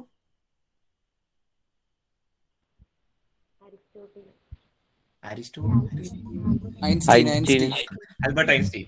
യെസ് ആൽബർട്ട് ഐൻസ്റ്റീന്റെ വളരെ ഫേമസ് ആയിട്ടുള്ള ഒരു ഇക്വേഷൻ ആണ് E is equal to M C square അല്ലെ? അദ്ദേഹം ഈ കണ്ടുപിടിച്ചത് ഒരു ടൈപ്പ് ഓഫ് റിസർച്ച് ആണ്. E equal to M C square എന്ന് പറഞ്ഞ് അദ്ദേഹം കണ്ടുപിടിച്ചു. അതൊരു റിസർച്ചിന്റെ ഭാഗമായിട്ട് അദ്ദേഹത്തിന് കിട്ടിയ ഒരു ഫൈൻഡിങ് ആണ്. ആൻഡ് ദെൻ ഇതേ റിസർച്ച് അല്ലെങ്കിൽ ഈ ഒരു റിസർച്ച് വെച്ചിട്ടാണ് നമ്മൾ പിന്നീട് ഈ പറഞ്ഞ ആറ്റം ബോംബ് പോലെയുള്ള അല്ലെങ്കിൽ ഹൈഡ്രജൻ ബോംബ് പോലെയുള്ള ബാക്കിയുള്ളതിനൊക്കെ നമ്മൾ അതിന്റെ രീതി യൂസ്ഫുൾ ആക്കി. സോ അത് വേറൊരു ടൈപ്പ് ഓഫ് റിസർച്ച് സോ ഞാൻ പറഞ്ഞു വന്ന വെച്ചാൽ പല ടൈപ്പ് ഓഫ് റിസർച്ചുകൾ ഉണ്ട് ചില ആളുകൾ തിയറി ഡെവലപ്പ് ചെയ്യാൻ വേണ്ടിയിട്ട് റിസർച്ച് ചെയ്യും. ചില ആളുകൾ എന്തെങ്കിലും ഇപ്പൊ സൊസൈറ്റി എന്തെങ്കിലും ഒരു പ്രോബ്ലം ഇപ്പൊ ഫേസ് ചെയ്തുകൊണ്ടിരിക്കുന്നുണ്ട്. സോ അതിനൊരു സൊല്യൂഷൻ കണ്ടെത്താൻ വേണ്ടിയിട്ട് ചില റിസർച്ച് ചെയ്യാറുണ്ട്. ചിലത് ചുമ്മാ ഡിസ്ക്രൈബ് ചെയ്യാൻ വേണ്ടിയിട്ട് റിസർച്ച് ചെയ്യാണ്ട് വാട്ട് ഈസ് ഹാപ്പനിങ് നൗ ഇപ്പൊ എന്താണ് നമ്മുടെ സൊസൈറ്റിയിൽ സംഭവിച്ചുകൊണ്ടിരിക്കുന്നത് എന്ന് ഡിസ്ക്രൈബ് ചെയ്യാൻ വേണ്ടിയിട്ട് ചിലപ്പോൾ റിസർച്ച് ചെയ്യാറുണ്ട്. അങ്ങനെ പല ടൈപ്പ് ഓഫ് റിസർച്ചുകൾ ഉണ്ട് അപ്പൊ മെയിൻ ആയിട്ടും നമുക്ക് റിസർച്ച് എന്ന് പറഞ്ഞാൽ നിങ്ങളുടെ മൈൻഡിലോട്ട് വരണം. അതായത് നമുക്കിപ്പോ ഒരു ഒരു ഒരു ഒരു ഒരു ഒരു കോൺസെപ്റ്റ് അതിനെക്കുറിച്ച് എനിക്ക് പ്രത്യേകിച്ച് ഒന്നും അറിയുന്നില്ല. ഓക്കെ അപ്പൊ നമുക്ക് ചെയ്യാൻ പറ്റുന്നതാണ് റിസർച്ച് ഇപ്പൊ ഫോർ എക്സാമ്പിൾ ഇപ്പോ ഇന്ത്യ ഫേസ് ചെയ്ത് പറഞ്ഞല്ലോ കോവിഡിന്റെ കാര്യം ഞാൻ പറഞ്ഞു. കോവിഡ് എന്ന് പറഞ്ഞത് പുതുതായിട്ട് വന്ന ഒരു അസുഖമാണ് അല്ലെ?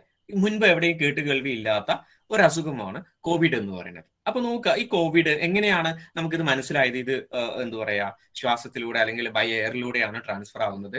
അതേപോലെ തന്നെ കൂടുതലായിട്ടും എഫക്ട് ചെയ്യുന്നത് ലങ്സ് ഡിസീസ് ഉള്ള ആളുകൾക്ക് അതേപോലെ അലർജറ്റിക് ആയിട്ടുള്ള ആളുകൾക്കൊക്കെ ഇത് കൂടുതലായിട്ടും സീരിയസ് ആയിട്ടുള്ള ഇഷ്യൂസ് ഉണ്ടാക്കും.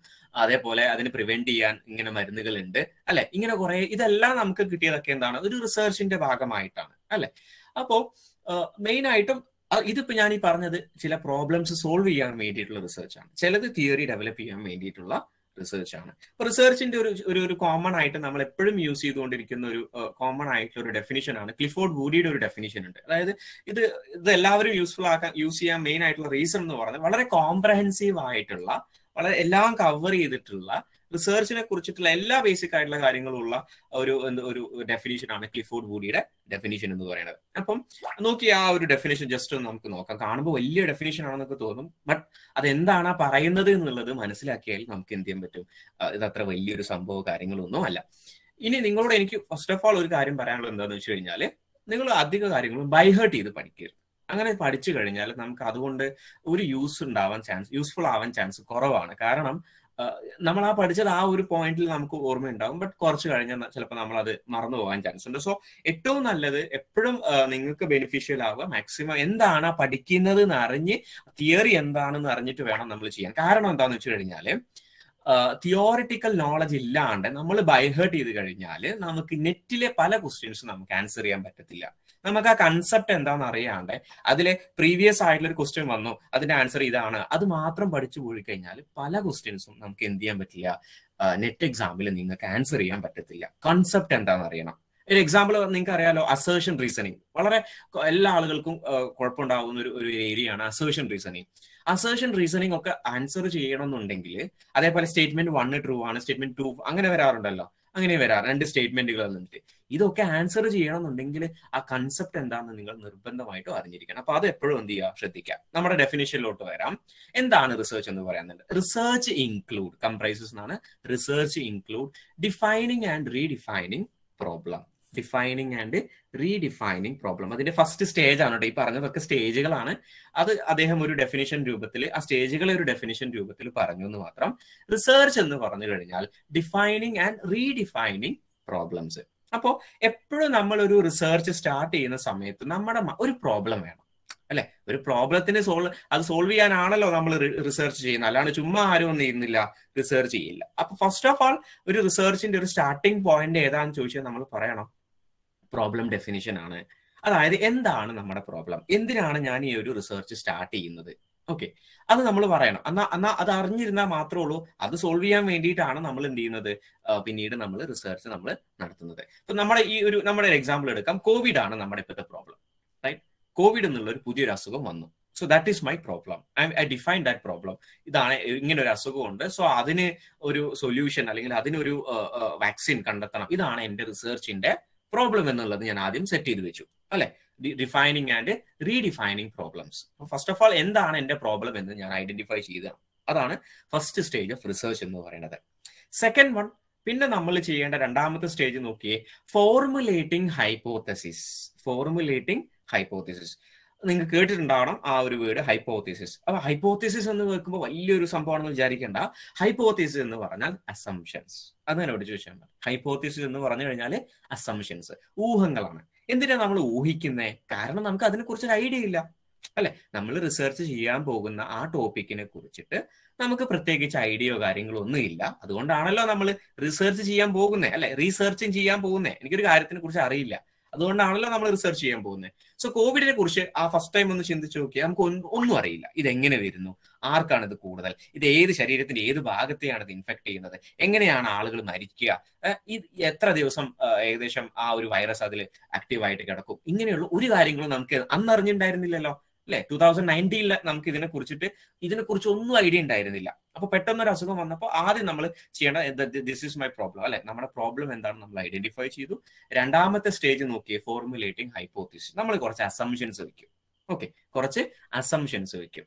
എന്താണ് അസംഷൻസ് നമ്മൾ പറയും ഇത് ബാധിക്കുന്നത് മെയിൻ ആയിട്ടും ലങ്സിനെ ആകാം. എന്ന് ഞാനൊരു അസംശയം വയ്ക്കും ഒക്കെ ഊഹങ്ങളാണ് കേട്ടോ കാരണം എനിക്ക് അറിയത്തില്ല ഈ റിസർച്ച് കംപ്ലീറ്റ് ആകുമ്പോഴാണ് നമുക്കിത് പറയാൻ പറ്റുള്ളത് എങ്ങനെ വന്നു എന്തുകൊണ്ടാണ് വരുന്നത് എവിടെയാണ് ഇത് കൂടുതലായിട്ട് ഇൻഫെക്ട് ചെയ്യുന്നത് ആരെയാണ് കൂടുതൽ ഇൻഫെക്ട് ചെയ്യുന്നത് ഇതെല്ലാം പിന്നീടേ അറിയത്തുള്ളൂ. സോ നമ്മൾ പിന്നെ രണ്ടാമത് ചെയ്യേണ്ടതാണ് we have to formulate some hypothesis or suggested solutions hypothesis or suggested solution നമ്മുടെ പ്രോബ്ലം എങ്ങനെ സോൾവ് ചെയ്യാൻ പറ്റും? അല്ലെങ്കിൽ എന്താണ് നമ്മുടെ പ്രോബ്ലം അതിനെ കുറിച്ച് കുറച്ച് അസംഷൻസ് നമ്മൾ എന്ത് ചെയ്യണം? പ്രിപ്പയർ ചെയ്യണം. ആ അസംഷൻസിനെ പറയുന്ന പേരാണ് ഹൈപ്പോത്തിസിസ് ഓക്കെ ഹൈപ്പോത്തിസിസ് അപ്പൊ ഞാൻ എന്ത് ചെയ്യും? രണ്ടാമതായിട്ട് ഞാൻ എന്ത് ചെയ്യും? ഹൈപ്പോത്തിസിസ് സെറ്റ് ചെയ്യും. എന്റെ ഊഹം ഇതാണ്. എന്റെ ഒരു ഐഡിയ വെച്ചിട്ട് ഈ കോവിഡ് എന്ന് പറഞ്ഞ അസുഖം ലങ്സിനെയാണ് ബാധിക്കുന്നത്. അതെനിക്കിപ്പോ അറിയില്ല കേട്ടോ ഞാൻ ജസ്റ്റ് ഊഹിക്കുകയാണ്. ലങ്സിനെയാണ് ബാധിക്കുന്നത്. ഓക്കെ ഇനി അതെങ്ങനെ കൺഫേം ചെയ്യാൻ പോകുന്നത് നോക്കി അപ്പോൾ അടുത്ത സ്റ്റേജിലോട്ട് പോവാം. ഓക്കെ അപ്പൊ എന്റെ ഹൈപ്പോത്തിസിസ് ഞാൻ സെറ്റ് ചെയ്തു. പ്രോബ്ലം ഡിഫൈൻ ചെയ്തു. ഹൈപ്പോത്തിസ് സെറ്റ് ചെയ്തു. നെക്സ്റ്റ് സ്റ്റേജ് നോക്കിയേ. Collecting organising and evaluating data okay ഹൈപ്പോത്തി ഞാൻ ഊഹിച്ചു വെച്ചു. അതായത് ലെങ്സിനെയാണ് ബാധിക്കുന്നത്. റൈറ്റ് ഇനി എങ്ങനെ കൺഫേം ആക്കുന്നതെന്ന് അറിയോ ഞാൻ ഡാറ്റ കളക്ട് ചെയ്യണം. ഞാൻ ഫീൽഡിൽ പോയിട്ട് ഡാറ്റ കളക്ട് ചെയ്യണം. ആ ഡാറ്റ കളക്ട് ചെയ്താൽ മാത്രം പോരാ. അതിനെ എഡിറ്റ് ചെയ്യണം അതിനെ ഓർഗനൈസ് ചെയ്യണം എന്നിട്ട് അതിനെ എന്ത് ചെയ്യണം? ഞാൻ ആ ഡാറ്റനെ എന്ത് ചെയ്യണം? പ്രോസസ് ചെയ്യണം. അല്ലെങ്കിൽ ആ ഡാറ്റനെ നമ്മൾ എന്ത് ചെയ്യണം? ഇവാലുവേറ്റ് ചെയ്യണം. ഓക്കെ ഡാറ്റ പ്രോസസ്സിംഗ് നമ്മൾ നടത്തിയിരിക്കണം. ഡാറ്റ അനലൈസ് ചെയ്യണം. ഓക്കെ അപ്പൊ ഞാൻ എന്ത് ചെയ്തു? ഞാൻ പോയിട്ട് ഡാറ്റ കളക്ട് ചെയ്തു. കോവിഡ് കോവിഡ് വന്ന ആളുകളെ പോയിട്ട് അവരെ ചെക്ക് ചെയ്തു. അപ്പൊ അവർക്ക് എല്ലാവർക്കും കോമൺ ആയിട്ട് കണ്ടുവരുന്നത് അവരുടെ ലങ്സിന് ഒരു ചെറിയ ചെറിയ പ്രോബ്ലംസ് ഉണ്ട് അല്ലെ? അത് ഞാൻ അവരുടെ അവരുടെ ഏജ് കളക്ട് ചെയ്തു അവരുടെ ഏജ് അവർ ഏത് ഏജ് ഗ്രൂപ്പിലുള്ള ആളുകളാണ് അതേപോലെ ഏത് ഏരിയയിലുള്ള ആളുകളാണ് അതേപോലെ മെയിൽ ആണോ ഫീമെയിൽ ആണോ ഇങ്ങനെയുള്ള കുറെ ഡീറ്റെയിൽസ് ഞാൻ എന്ത് ചെയ്തു ആ കോവിഡ് രോഗികളുടെ കയ്യിൽ നിന്നും ഞാൻ കളക്ട് ചെയ്തു. യെസ് ഡാറ്റ കളക്ട് ചെയ്തു അതിനെ അനലൈസ് ചെയ്തു. ദെൻ അടുത്ത സ്റ്റേജ് നോക്കിയേ making deductions and reaching conclusions making deductions and reaching conclusion ആ ഡാറ്റ നോക്കിയാൽ നമുക്ക് പറയാൻ പറ്റും ഇത് ആരെയാണ് കൂടുതൽ ബാധിക്കുന്നത്? മെയിലിനെയാണോ ഫീമെയിലിനെയാണോ ഏത് ഏജ് ഗ്രൂപ്പിനെയാണ് അത് ഏത് പാർട്ടിലാണ് ബാധിക്കുന്നത്? അപ്പൊ എനിക്ക് മനസ്സിലായി ഞാൻ നോക്കിയ സമയത്ത് എനിക്ക് ആ ഡാറ്റ അനലൈസ് ചെയ്തപ്പോൾ എനിക്ക് മനസ്സിലായി ഇത് ബാധിക്കുന്നത് കൂടുതലായിട്ടും ഏജ്ഡ് ആയിട്ടുള്ള ആളുകളെയാണ്. ഫസ്റ്റ് ഞാൻ ഫസ്റ്റ് ഞാൻ ഇതിന് ഒരു കൺക്ലൂഷൻ എത്തിയിട്ടാ രണ്ടാമത്തെ കൺക്ലൂഷൻ ഞാൻ എത്തി അതായത് ഇത് ഏറ്റവും കൂടുതൽ ബാധിക്കുന്നത് ലങ്സിനെയാണ്. ലങ്സിന് ഓൾറെഡി അസുഖമുള്ള ആളുകളെയാണ് കൂടുതലായിട്ട് ബാധിക്കുന്നത്. യെസ് മൂന്നാമതായിട്ട് ഞാൻ വീണ്ടും കൺക്ലൂഷനിലെത്തി മരിച്ച ആളുകളുടെ ഡീറ്റെയിൽസ് കളക്ട് ചെയ്തപ്പോൾ എനിക്ക് മനസ്സിലായി. അവർക്ക് ന്യൂമോണിയ വന്ന ആ ന്യൂമോണിയ കാരണമാണ് അവർ മരിക്കുന്നത്. മൂന്നാമത്തെ കൺക്ലൂഷൻ ആയി അല്ലെ? നാലാമതായിട്ട് എനിക്ക് മനസ്സിലായി ഇവർക്കൊക്കെ വായുവിലൂടെയാണ് ലങ്സിനാണല്ലോ അത് കൂടുതലായിട്ട് അസുഖം വന്നത്. സോ അത് കൂടുതലായിട്ടും വന്നിട്ടുണ്ടാവുക ബൈ എയറിലൂടെ ആയിരിക്കും. സോ കോവിഡ് പകരുന്നത് വായുവിലൂടെയാണ് അല്ലെ? സോ നോക്കി എത്രയധികം കൺക്ലൂഷൻസ് ആണ് ഞാൻ അതിൽ നിന്ന് എടുക്കുന്നത്. ആ ഡാറ്റ അനലൈസിലൂടെ ഞാൻ കുറെ അധികം കൺക്ലൂഷനിലെത്തി ആൻഡ് ദെൻ നമ്മൾ എന്ത് ചെയ്യുക നമ്മൾ ഓൾറെഡി സെറ്റ് ചെയ്ത് വെച്ച ഹൈപ്പോത്തീസിസുകൾ നമ്മൾ ആ ഞാൻ പറഞ്ഞത് ഞാൻ ഓൾറെഡി ഞാൻ ഊഹിച്ചു വെച്ചല്ലോ. അപ്പൊ എന്റെ ഊഹം ഒന്നുകിൽ ശരിയാകാം അല്ലെങ്കിൽ എന്റെ ഊഹം തെറ്റാകാം. സോ ഡിപ്പെൻഡിങ് അപ്പോൾ ഇതാണ് നോർമലി ഒരു റിസർച്ചിന്റെ സ്റ്റെപ്പ് എന്ന് പറയുന്നത് ഓക്കെ കഴിഞ്ഞിട്ടില്ല ഇനിയുണ്ട്. ഇത് ഇത്രയുമാണ് നമ്മുടെ ഒരു ഡെഫിനിഷൻ വരുന്നത്. ഓക്കെ ആരുടെ മൈക്കോൺ ആണ്? ഒന്ന് ഓഫാക്കി വെച്ചേ. ആരുടെയോ മൈക്കോൺ ആണ്? ഒന്ന് ഓഫാക്കി വെച്ചേ. യെസ് അപ്പോ ക്ലിഫോർഡ് വൂഡിയുടെ ഈ ഒരു ഡെഫിനേഷൻ ജസ്റ്റ് ഒന്ന് ഓർത്ത് വെക്കാം. ആരുടെ ഒരാളുടെ മൈക്ക് ഓൺ ആണ്? ഒന്ന് ആക്കി വെച്ചേ. പെട്ടെന്ന് ഓഫ് ആക്കിയേ.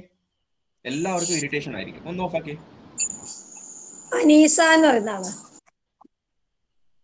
ഓക്കെ യെസ് അപ്പൊ ഇതാണ് ഇതിന്റെ ഒരു ഡെഫിനിഷൻ എന്ന് പറയുന്നത്. അപ്പൊ എന്താ നോക്കിയേ? Research comprises defining and redefining problem formula ഞാൻ പറയുമ്പോൾ ഒക്കെ നിങ്ങളുടെ മൈൻഡിലോട്ട് ഇത് ഇങ്ങനെ വരണം കേട്ടോ. Defining and redefining problem formulating hypothesis.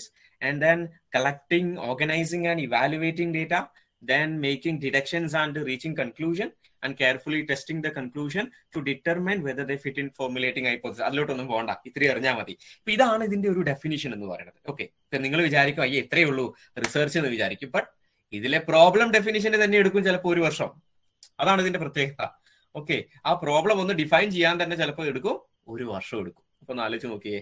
അപ്പൊ ഇതാണ് റിസർച്ചിന്റെ ഒരു ഓവറാൾ ഒരു ഐഡിയ ഒരു റിസർച്ചിന്റെ സ്റ്റെപ്പുകൾ എന്ന് പറയുന്നത്. യെസ് ഓക്കെ ഇനി നമ്മൾ നോക്കാൻ പോകുന്നത് what are the features of research അല്ലെങ്കിൽ ക്യാരക്ടറിസ്റ്റിക്സ് ഓഫ് റിസർച്ച് റിസർച്ചിന് കുറെ പ്രത്യേകതകളുണ്ട്. അല്ലെങ്കിൽ റിസർച്ച് എന്താണ്? അതിന് ഈ ഒരു ഫീച്ചേഴ്സ് പഠിച്ചാൽ തന്നെ നമുക്ക് ഏകദേശം അറിയാം എന്താണ് ഒരു റിസർച്ച് എന്നുള്ളത്. ഓക്കെ വീണ്ടും ആരുടെ ഒരാളുടെ മൈക്ക് ഓൺ ആയിട്ടുണ്ട്. ഒന്ന് ഓഫാക്കി വലിയ ഇറിറ്റേഷൻ ആണ് കേട്ടോ. ആവശ്യമില്ലാന്നുണ്ടെങ്കിൽ ഓണാക്കി എപ്പോഴും ശ്രദ്ധിക്കാം നിങ്ങളുടെ മൈക്ക് ഓൺ ആണോ എന്നൊന്ന് ശ്രദ്ധിക്കണം. യെസ് അപ്പൊ ഫീച്ചേഴ്സ് ഓഫ് റിസർച്ച് നമുക്ക് നോക്കാം.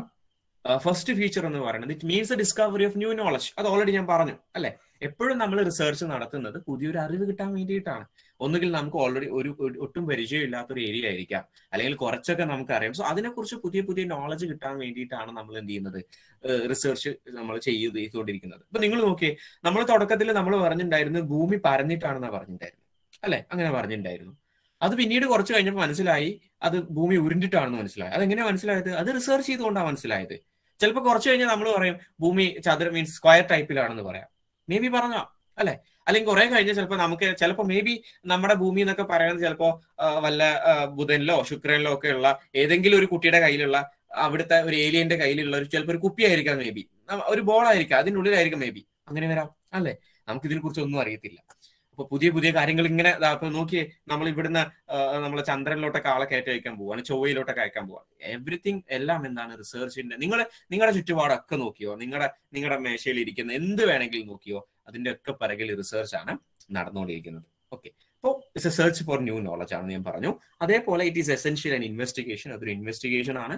അതേപോലെ it is related with solution of a problem എപ്പോഴും ഏതൊരു റിസർച്ചിന്റെ പുറകിലും ഒരു പ്രോബ്ലം ഉണ്ടായിരിക്കും. ആ പ്രോബ്ലം സോൾവ് ചെയ്യാൻ വേണ്ടിയിട്ടാണ് സാധാരണയായിട്ട് നമ്മൾ റിസർച്ച് നടത്താറ്. ഇപ്പൊ എക്കണോമിക്സുകാരുടെ റിസർച്ച് എടുക്കാം. ഇപ്പോൾ ഇക്കോണമി ഇപ്പോൾ ഡിപ്രഷനിൽ പോയിക്കൊണ്ടിരിക്കുകയാണെന്ന് വിചാരിച്ചു. ഇക്കോണമി ഇപ്പോൾ ഡിപ്രഷനിൽ ഏകദേശം ആ ഒരു സ്റ്റേജിലൊക്കെ തന്നെയാണ് നമ്മൾ ഇപ്പോഴത്തെ എക്കോണമി എന്ന് പറയുന്നത്. ജി ഡി പി റേറ്റും ഒക്കെ നമ്മൾ നോക്കുകയാണെന്നുണ്ടെങ്കിൽ നമ്മുടെ എക്കോണമി ഇപ്പോൾ വലിയൊരു റിസർഷനിലോട്ടാണ് പോകാനിരിക്കുന്നത്. അപ്പോൾ അതൊരു പ്രോബ്ലമാണ് അല്ലേ? നമ്മുടെ എക്കോണമി ഫേസ് ചെയ്തുകൊണ്ടിരിക്കുന്ന ഒരു പ്രോബ്ലമാണ് സോ എങ്ങനെ അത് സോൾവ് ചെയ്യാൻ പറ്റും? അതല്ലെങ്കിൽ എന്തെങ്കിലും ഇപ്പോൾ ഇപ്പോൾ ഒരു ഒരു കമ്പനിയുടെ കാര്യം എടുക്കുക ആ കമ്പനിയിൽ എംപ്ലോയീസ് ഇങ്ങനെ പോയിക്കൊണ്ടേയിരിക്കുകയാണ്. ആരും കണ്ടിന്യൂ ചെയ്യുന്നില്ല. എംപ്ലോയീസ് അങ്ങനെ കുറെ കാലം ആരും അങ്ങനെ കണ്ടിന്യൂ ചെയ്യുന്നില്ല. അവർ വരുന്നു കുറച്ച് കഴിഞ്ഞാൽ അവർ റിസൈൻ ചെയ്തു പോകുന്നു വീണ്ടും വരുന്നു റിസൈൻ ചെയ്തു പോകുന്നു. അപ്പൊ അതൊരു പ്രോബ്ലം ആണ് അല്ലെ? സോ എന്താണ് അത്? എന്തുകൊണ്ടാണ് അങ്ങനെ സംഭവിക്കുന്നത്? സോ അതിന് നമുക്ക് റിസർച്ച് ചെയ്യാം.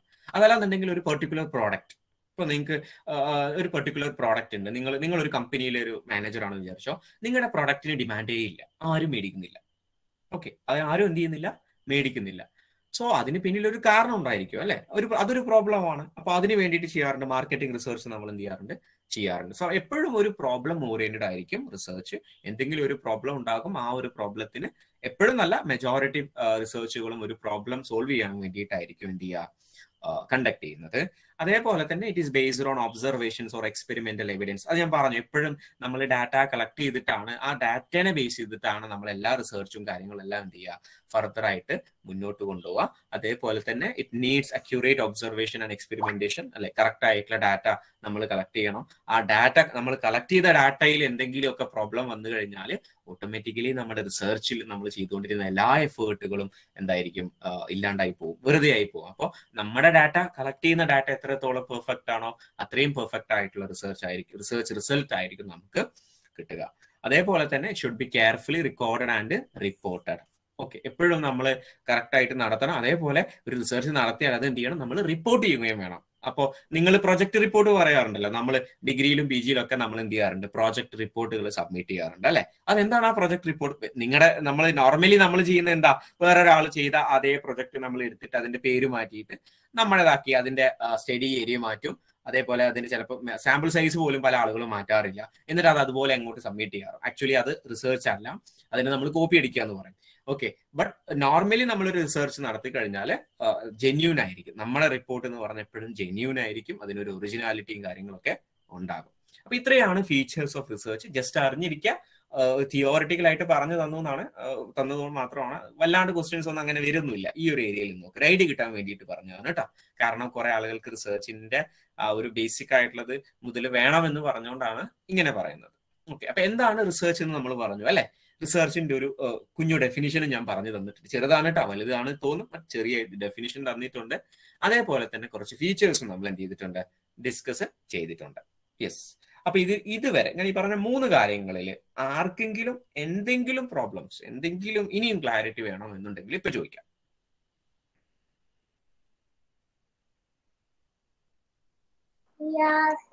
നോട്ട്സ് ഗ്രൂപ്പിൽ ഇടില്ല സാറേ?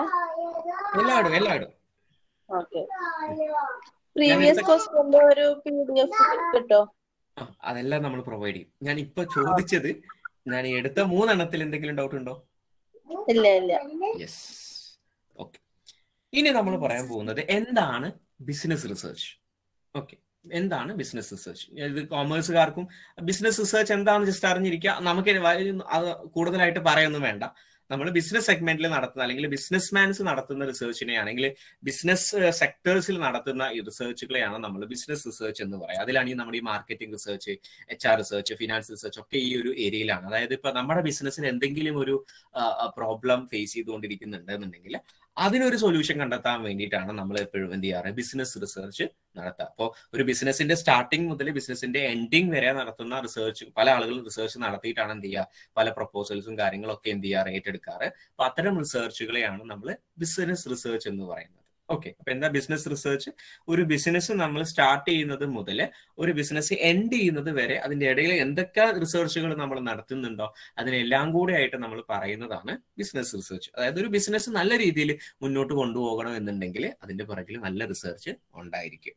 യെസ് ഇപ്പൊ നമ്മൾ ജസ്റ്റ് എക്സാമ്പിൾ എടുക്കാം. ഇപ്പൊ നമ്മുടെ കമ്പനി സാധാരണ നിങ്ങളൊക്കെ കണ്ടിട്ടുണ്ടായിരിക്കും ഈ പുതിയ പ്രൊഡക്റ്റുകളൊക്കെ വരുന്ന സമയത്തെ അവർ അതിന് ചെറിയ ചെറിയ സാമ്പിളുകളൊക്കെയാണ് ആദ്യമായിട്ട് കൊണ്ടുവരിക. അപ്പൊ അതെന്താ? അതൊരു റിസർച്ചിന്റെ ഭാഗമാണ്. എന്തായിരിക്കും ആ റിസർച്ച് നമ്മുടെ ഈ ഒരു പ്രൊഡക്റ്റ് അവർ അക്സെപ്റ്റ് ചെയ്യുമോ പബ്ലിക് എങ്ങനെ അക്സെപ്റ്റ് ചെയ്യും? കസ്റ്റമേഴ്സ് എങ്ങനെ അതിനോട് റിയാക്ട് ചെയ്യും? എന്നൊക്കെ അറിയാൻ വേണ്ടിയിട്ടാണ് അതിൽ എന്തെങ്കിലും മോഡിഫിക്കേഷൻസ് വരുത്തണോ? എന്നൊക്കെ അറിയാൻ വേണ്ടിയിട്ടാണ് അവർ ഈ പറഞ്ഞ മാർക്കറ്റിംഗ് റിസർച്ച് കണ്ടക്ട് ചെയ്യാറുണ്ട്. അപ്പോൾ അതൊക്കെ ബിസിനസ് റിസർച്ചിന്റെ ഭാഗമായിട്ടാണ്. ജസ്റ്റ് പറഞ്ഞു എന്ന് മാത്രം കേട്ടോ. എന്താണ് ബിസിനസ് റിസർച്ച് എന്ന് അറിഞ്ഞിരിക്കുക. ഒരു ബിസിനസിന്റെ സ്റ്റാർട്ടിങ് മുതൽ എൻഡിങ് വരെ എന്തെല്ലാം ടൈപ്പ് ഓഫ് റിസർച്ചുകൾ നടത്തുന്നുണ്ടോ? അതിനെ കളക്റ്റീവായിട്ട് പറയുന്ന പേരാണ് ബിസിനസ് റിസർച്ച് എന്ന് പറയുന്നത്. യെസ് നമ്മൾ ഇനി പറയാൻ പോകുന്നത് ഇമ്പോർട്ടൻസ് ഓഫ് റിസർച്ച് എന്തിനു വേണ്ടി എന്താണ് റിസർച്ചിന്റെ ഇമ്പോർട്ടൻസ് എന്തിനാണ് ആളുകൾ ഞാൻ പറഞ്ഞല്ലോ ഞാൻ നേരത്തെ പറഞ്ഞല്ലോ ജെ ആർ എഫിന്റെ കാര്യം ഞാൻ പറഞ്ഞു. ജെ ആർ എഫ് ഒരാൾക്ക് ഒരു റിസർച്ചർക്ക് ഇരുപത്തിനാല് ലക്ഷം അല്ലെങ്കിൽ ഇരുപത്തഞ്ച് ലക്ഷം രൂപയൊക്കെ കൊടുത്തിട്ട് ഇതുകൊണ്ട് എന്താ ഉപകാരം? അപ്പൊ എന്താ ഇതിന് മാത്രം അതിലുള്ളത്? ഒന്ന് ആലോചിച്ച് നോക്കിയേ. ഒരാൾക്ക് ഗവൺമെന്റ് ചുമ്മാ ഇരുപത്തഞ്ച് ലക്ഷം രൂപ കൊടുക്കുക. ഒന്ന് ആലോചിച്ച് നോക്കിയേ. സാധാരണ ഒരു പെൻഷൻ കിട്ടണമെങ്കിൽ എത്ര നമ്മൾ പുറകിൽ എടുക്കണം അല്ലെ? ആയിരം രൂപയുടെ പെൻഷൻ കിട്ടണമെന്നുണ്ടെങ്കിൽ. അപ്പൊ ഇത്രയും രൂപ കൊടുക്കണം എന്നുണ്ടെങ്കിൽ എത്രത്തോളം റിസർച്ച് ഇമ്പോർട്ടൻസ് ആണെന്ന് നിങ്ങൾക്ക് അതിൽ തന്നെ കിട്ടും. ആ പേയ്മെന്റ് നോക്കിയാൽ തന്നെ നിങ്ങൾക്ക് മനസ്സിലാവും. ഇതൊന്നും അല്ലാട്ടെ ഇരുപത്തഞ്ചൊന്നും അല്ല അതിനൊക്കെ മുകളിൽ വരും. ഓക്കെ അൻപത് അറുപത് ലക്ഷം ഒക്കെ കൊടുക്കുന്നുണ്ട്. അത്രയും റിസർച്ച് കോടികളുടെ റിസർച്ച് ഒക്കെ നടക്കുന്നുണ്ട് നമ്മുടെ ഇന്ത്യയിൽ ഓക്കെ അപ്പൊ ജസ്റ്റ് പറഞ്ഞു എന്ന് മാത്രം.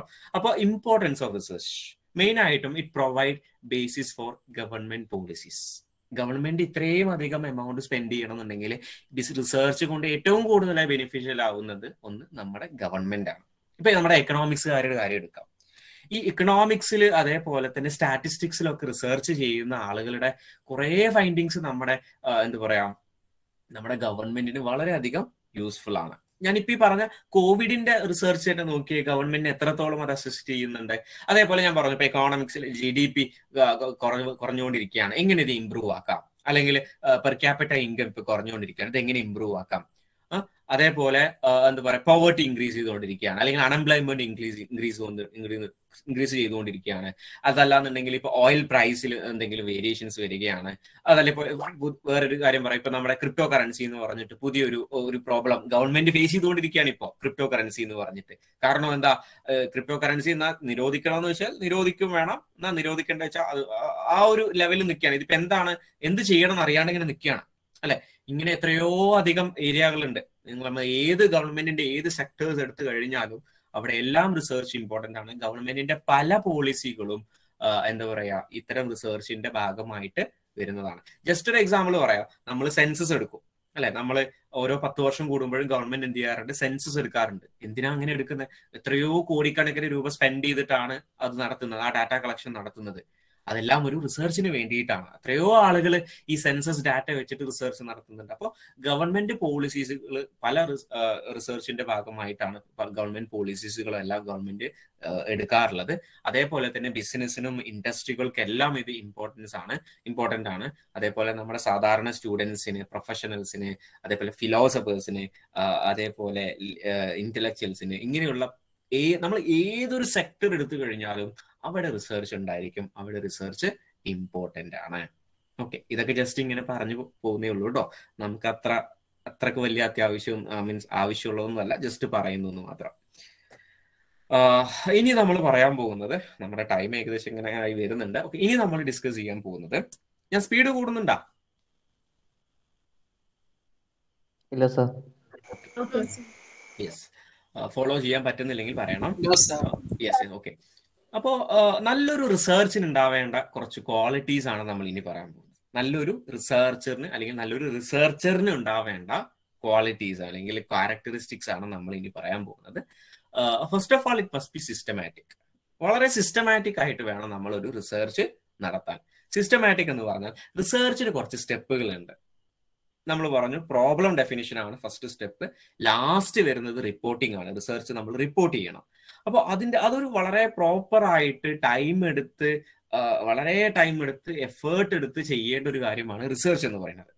ഓക്കെ വളരെ ഫ്രീ മൈൻഡ് ആയിട്ടുള്ള ആ ഒരു ടൈമിലാണ് മാത്രമാണ് നല്ലൊരു റിസർച്ചിങ് നമുക്ക് നടക്കുക. അപ്പോൾ നല്ലൊരു റിസർച്ചർ അല്ലെങ്കിൽ നല്ലൊരു റിസർച്ച് എന്ന് പറയുന്നത് ഷുഡ് ബി സിസ്റ്റമാറ്റിക് ആയിരിക്കണം. പ്രോപ്പർ ആയിട്ട് ഒരു പ്ലാനിങ് നടത്തി എല്ലാ കാര്യങ്ങളും വർക്കൗട്ട് ചെയ്തുകൊണ്ട് ഒരു പ്ലാനും റിസർച്ച് ഡിസൈനുകളും കാര്യങ്ങളും എല്ലാം പ്രിപ്പയർ ചെയ്തിട്ട് വേണം നമ്മൾ റിസർച്ച് കണ്ടക്ട് ചെയ്യാൻ. അതേപോലെ തന്നെ ഷുഡ് ബി ലോജിക്കൽ നമ്മൾ ആ റിസർച്ച് നടത്തുന്നതിന് ഒരു ലോജിക്ക് വേണം. ഒരു എന്തെങ്കിലുമൊക്കെ കണ്ടുപിടിച്ചിട്ട് കാര്യമല്ല. അതുകൊണ്ട് നമുക്കൊരു യൂസ്ഫുൾ ആകണം. അതേപോലെ ആർക്കെങ്കിലും അതുകൊണ്ട് ഒരു യൂസ് ഉണ്ടാവണം. അങ്ങനെ അത്തരം റിസർച്ച് വേണം നമ്മൾ ചെയ്യാൻ. അതേപോലെ ലോജിക്കൽ ആയിരിക്കണം. അതേപോലെ ഇറ്റ് ഷുഡ് ബി എംപെരിക്കൽ നമുക്ക് പ്രൂവ് ചെയ്യാൻ പറ്റണം. അതായത് ഏതൊരു റിസർച്ച് നടത്തിയാലും നമ്മുടെ ഫൈൻഡിങ്സ് നമുക്ക് പ്രൂവ് ചെയ്യാൻ പറ്റണം. ഓക്കെ ഇതാണ് ഞാൻ റിസർച്ച് നടത്തിയത്. ഇതെനിക്ക് എന്ത് ചെയ്യാൻ പറ്റണം? പ്രൂവ് ചെയ്യാൻ പറ്റണം. അതേപോലെ തന്നെ ഇറ്റ് ഷുഡ് ബി വെരിഫയബിൾ ആർക്കും ചെക്ക് ചെയ്ത് നോക്കാൻ പറ്റണം. ഓക്കെ ഇപ്പോ ആൽബർട്ട് ഐൻസ്റ്റീൻ പറഞ്ഞു is equal to M C square ഇതെന്താ നമ്മൾ വിശ്വസിക്കാൻ കാരണം? ഇത് അദ്ദേഹം പറഞ്ഞതാ. ആരെങ്കിലും പറഞ്ഞ് ഇത് മാറ്റിയിട്ടുണ്ടോ പിന്നീട്? ഫർദർ ആയിട്ട് ഇത്രയോ വർഷങ്ങൾ മുന്നേ കണ്ടുപിടിച്ച ഒരു ഇക്വേഷൻ ആണ് is equal to M C square ഇത് പിന്നീട് ആരും ചേഞ്ച് ചെയ്തിട്ടില്ല അല്ലെ? എന്തുകൊണ്ടാ? ബിക്കോസ് ഇറ്റ് ഈസ് വെരിഫയബിൾ ആർക്ക് വേണമെങ്കിലും വെരിഫൈ ചെയ്യാം. അതിലൊരു ഡൗട്ടും ഇല്ല. ആർക്ക് വേണമെങ്കിലും ഇതിനെ വെരിഫൈ ചെയ്ത് നോക്കാം. ഈ എനർജി ഈസ് ഈക്വൽ ടു എന്ന് പറഞ്ഞിട്ട് ആർക്ക് വേണമെങ്കിലും എന്ത് ചെയ്യാം ഇതിനെ? വെരിഫൈ ചെയ്യണം. അപ്പൊ എപ്പോഴും നല്ലൊരു റിസർച്ച് എന്ന് പറയുന്നത് ഒന്ന് ഇറ്റ് ഷുഡ് ബി എംപെരിക്കൽ ആയിരിക്കണം that it should be proven അതേപോലെ തന്നെ അത് വെരിഫയബിൾ ആയിരിക്കണം. ആർക്കും അതിന്റെ ആ ഒരു ഒറിജിനാലിറ്റി അല്ലെങ്കിൽ അതിന്റെ ഒരു ക്വാളിറ്റി വെരിഫൈ ചെയ്യാൻ പറ്റുന്നതായിരിക്കണം. അതേപോലെ തന്നെ സഫീഷ്യൻലി ഡിസ്ക്രൈബ്ഡ് ആയിരിക്കണം. അതായത് നമ്മൾ എല്ലാ കാര്യങ്ങളും കവർ ചെയ്തിട്ടൊക്കെ വേണം നമ്മളൊരു റിസർച്ച് ചെയ്യാൻ. ഓക്കെ മെയിൻ ആയിട്ടും അതൊരു സിസ്റ്റമാറ്റിക് ആയിട്ട് വളരെ പ്ലാൻ ചെയ്ത് ടൈം എടുത്ത് എഫേർട്ട് എടുത്ത് ചെയ്യേണ്ട ഒരു കാര്യമാണ് റിസർച്ച് എന്ന് പറയുന്നത്. യെസ് അപ്പൊ ഇത്രയുമാണ് ക്വാളിറ്റീസ് ഓഫ് ഗുഡ് റിസർച്ച് എന്ന് പറയുന്നത്. ഇനി ഇനി നമ്മൾ പറയാൻ പോകുന്നത് റിസർച്ചിന്റെ രണ്ട് അപ്രോച്ചുകളാണ് വളരെ ഇമ്പോർട്ടന്റ് ആണ്. ക്വസ്റ്റ്യൻസ് എപ്പോഴും ചോദിക്കുന്ന ഒരു ഏരിയയാണ് ഞാൻ ഇനി പറയാൻ പോകുന്നത് അപ്രോച്ചസ് ടു റിസർച്ച് റിസർച്ചിന് രണ്ട് രീതി രണ്ട് അപ്രോച്ചുകൾ ഉണ്ട് ഓക്കെ അതിനെ നമ്മൾ പറയാറ് ഇൻഡക്റ്റീവ് അപ്രോച്ച് എന്ന് പറയാറുണ്ട്. അതേപോലെ തന്നെ ഡിഡക്റ്റീവ് അപ്രോച്ച് എന്ന് പറയാറുണ്ട്. ഇൻഡക്റ്റീവ് തിയറി അല്ലെങ്കിൽ ഡിഡക്റ്റീവ് തിയറി അല്ലെങ്കിൽ ഇൻഡക്റ്റീവ് അപ്രോച്ച് അല്ലെങ്കിൽ ഡിഡക്റ്റീവ് അപ്രോച്ച് എന്ന് പറയും കേട്ടോ. വളരെ ഇമ്പോർട്ടന്റ് ആയിട്ടുള്ള രണ്ട് ടേമുകളാണ് ഇത്. നിങ്ങൾ ഒരിക്കലും നിങ്ങളുടെ മൈൻഡിൽ നിന്ന് പോകാൻ പാടില്ലാത്ത രണ്ട് ടേമുകളാണ് ഇനി നമ്മൾ ഡിസ്കസ് ചെയ്യാൻ പോകുന്നത്. ഇൻഡക്റ്റീവ് അപ്രോച്ചും ഉണ്ട് ഡിഡക്റ്റീവ് അപ്രോച്ചും ഉണ്ട്. ഓക്കെ ഫോർ എക്സാമ്പിൾ ഇപ്പൊ ഞാനൊരു ഞാനൊരു ഒരു ടോപ്പിക്കിൽ റിസർച്ച് ചെയ്യാൻ പോവുകയാണ് കേട്ടോ. അപ്പൊ എനിക്ക് ഫോളോ ചെയ്യാവുന്ന രണ്ട് മെത്തേഡുകളാണെങ്കിൽ രണ്ട് അപ്രോച്ചുകളാണ് രണ്ട് അപ്രോച്ചാണ് മെത്തേഡ് അല്ല രണ്ട് അപ്രോച്ചുകളാണ് ഇൻഡക്റ്റീവ് അപ്രോച്ചും ഡിഡക്റ്റീവ് അപ്രോച്ചും അപ്പൊ ഇത് രണ്ടും രണ്ട് പർപ്പസിന് വേണ്ടിയിട്ടാണ് ഉപയോഗിക്കുന്നത്. അപ്പൊ നമുക്ക് ആദ്യം എന്ത് ചെയ്യാം? ഇൻഡക്റ്റീവ് അപ്രോച്ച് എന്താന്ന് പറഞ്ഞു എന്താണ്? ഇൻഡക്റ്റീവ് അപ്രോച്ച് ഇൻഡക്റ്റീവ് അപ്രോച്ച് എപ്പോഴാണ് നമ്മൾ യൂസ് ചെയ്യുക എന്ന് വെച്ച് കഴിഞ്ഞാൽ ഒരു ടോപ്പിക് ഒരു ടോപ്പിക് അല്ലെങ്കിൽ ഒരു പ്രോബ്ലം ആ പ്രോബ്ലത്തിനെ കുറിച്ചിട്ട് മുൻപ് ആരും സ്റ്റഡി നടത്തിയിട്ടില്ല. ഓക്കെ ആ പ്രോബ്ലത്തിനെ കുറിച്ചിട്ട് മുൻപ് ആരും സ്റ്റഡി നടത്തിയിട്ടില്ല. വളരെ പുതുതായിട്ടുള്ള ഒരു എന്താ പറയാ ഒരു ടോപ്പിക്കാണ് അത് അതിനെക്കുറിച്ച് ആരും ഇതിനു മുൻപ് എന്ത് ചെയ്തിട്ടില്ല ഡിസ്കസ് ചെയ്തിട്ടില്ല. അത്തരം ടൈമിലാണ് നമ്മൾ ഇൻഡക്റ്റീവ് അപ്രോച്ച് നമ്മൾ ഫോളോ ചെയ്യുക. ഓക്കെ അപ്പൊ എപ്പോഴാണ് നമ്മൾ ഇൻഡക്റ്റീവ് അപ്രോച്ച് നമ്മൾ യൂസ് ചെയ്യുക? When there is little or no existing literature on a topic അതായത് ഒരു പർട്ടിക്കുലർ ടോപ്പിക്കാണ് അതിനെ കുറിച്ചിട്ട് ആരും മുൻപ് എന്ത് ചെയ്തിട്ടില്ല. പ്രീവിയസ് സ്റ്റഡീസ് ആരും ചെയ്തിട്ടില്ല. അതിനെക്കുറിച്ച് ആരും പഠിച്ചിട്ടില്ല. എക്സാമ്പിൾ നമ്മുടെ കോവിഡ് മുൻപ് ആരും ചില കോവിഡ് ഞാൻ എക്സാമ്പിൾ പറയാണ്. കോവിഡിനെ കുറിച്ച് മുൻപ് പറയുകയൊക്കെ ചെയ്തിട്ടുണ്ട്. Just for the sake of example കോവിഡിനെ കുറിച്ച് മുൻപ് നമുക്ക് ഒന്നും അറിയില്ല. ഇല്ലല്ലോ? ഒന്നും അറിയില്ല. നമ്മൾ ആദ്യമായിട്ട് കേൾക്കുകയാണ് കോവിഡ് നയന്റീൻ അല്ലെങ്കിൽ കോവിഡ് എന്ന് പറഞ്ഞൊരു അസുഖം നമ്മളൊക്കെ ആദ്യമായിട്ട് കേൾക്കുകയാണ് അല്ലേ? സോ അതിനെക്കുറിച്ചൊരു അങ്ങനെ അത്തരം സിറ്റുവേഷൻസിൽ അതായത് നമ്മുടെ പ്രോബ്ലം മുൻപ് ആരും ഡിസ്കസ് ചെയ്യാത്ത അതിനെക്കുറിച്ച് ആരും സ്റ്റഡി ചെയ്യാത്ത ഫ്രഷ് ആയിട്ടുള്ള പുതുതായിട്ടുള്ള ഒരു ടോപ്പിക് ആണ് എന്നുണ്ടെങ്കിലാണ് നമ്മൾ ഇൻഡക്റ്റീവ് അപ്രോച്ച് ഫോളോ ചെയ്യുക. മനസ്സിലായല്ലോ? Because there is no theory to test അതായത് മുൻപ് ഒരു തിയറി ആരും എന്ത് ചെയ്തിട്ടില്ല ഡെവലപ്പ് ചെയ്ത് വെച്ചിട്ടൊന്നുമില്ല. അപ്പോൾ തിയറി ഡെവലപ്പ് ചെയ്യാൻ വേണ്ടിയിട്ടാണ് നമ്മൾ ഇനി നമ്മൾ വേണം ഒരു തിയറി ഡെവലപ്പ് ചെയ്യാൻ. അതിനാണ് ഇൻഡക്റ്റീവ് അപ്രോച്ച് നമ്മൾ യൂസ് ചെയ്യുക.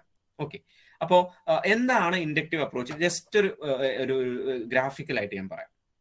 ഇപ്പോൾ കോവിഡിന്റെ കേസിനാണ് ഞാൻ പറയുന്നത്. ഞാൻ ഇത് പറയാൻ കാരണം എന്ന് വെച്ച് കഴിഞ്ഞാൽ ഞാൻ കോമേഴ്സ് പറഞ്ഞു കഴിഞ്ഞാൽ കോമേഴ്സുകാർക്ക് മാത്രം മനസ്സിലാവും. അതുകൊണ്ടാണ് ഈ കോവിഡ് കോവിഡ് എന്ന് പറയുന്നത് ബോർ അടിക്കുന്നുണ്ടെങ്കിൽ പറയാം. ഇപ്പൊ കോവിഡ് എന്ന് പറഞ്ഞത് പുതുതായിട്ട് വന്ന ഒരു അസുഖമാണ് അല്ലെ?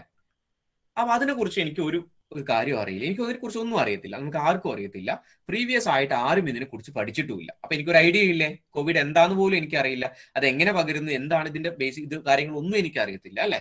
അപ്പോ അപ്പോൾ ആ ആ സിറ്റുവേഷൻസിലാണ് നമ്മൾ ഇൻഡക്റ്റീവ് അപ്രോച്ച് അല്ലെങ്കിൽ ഇൻഡക്റ്റീവ് റീസണിങ് നമ്മൾ യൂസ് ചെയ്യുക. അപ്പൊ നമ്മൾ എന്താ ചെയ്യാന്നറിയോ എനിക്ക് അതിനെ കുറിച്ച് ഒന്നും അറിയില്ലല്ലോ. ആദ്യം തന്നെ നമ്മൾ പോയിട്ട് കുറച്ച് ഒബ്സർവേഷൻസ് കളക്ട് ചെയ്യും. ഒബ്സർവേഷൻസ് കളക്ട് ചെയ്യുക എന്ന് പറഞ്ഞാൽ കുറച്ച് ഡാറ്റ നമ്മൾ കളക്ട് ചെയ്യും. ഓക്കെ അപ്പൊ നോക്കുക കോവിഡ് വന്ന ആളുകളെ പോയിട്ട് അവരുടെ കയ്യിൽ നിന്ന് നമ്മൾ ഡാറ്റ കളക്ട് ചെയ്യും.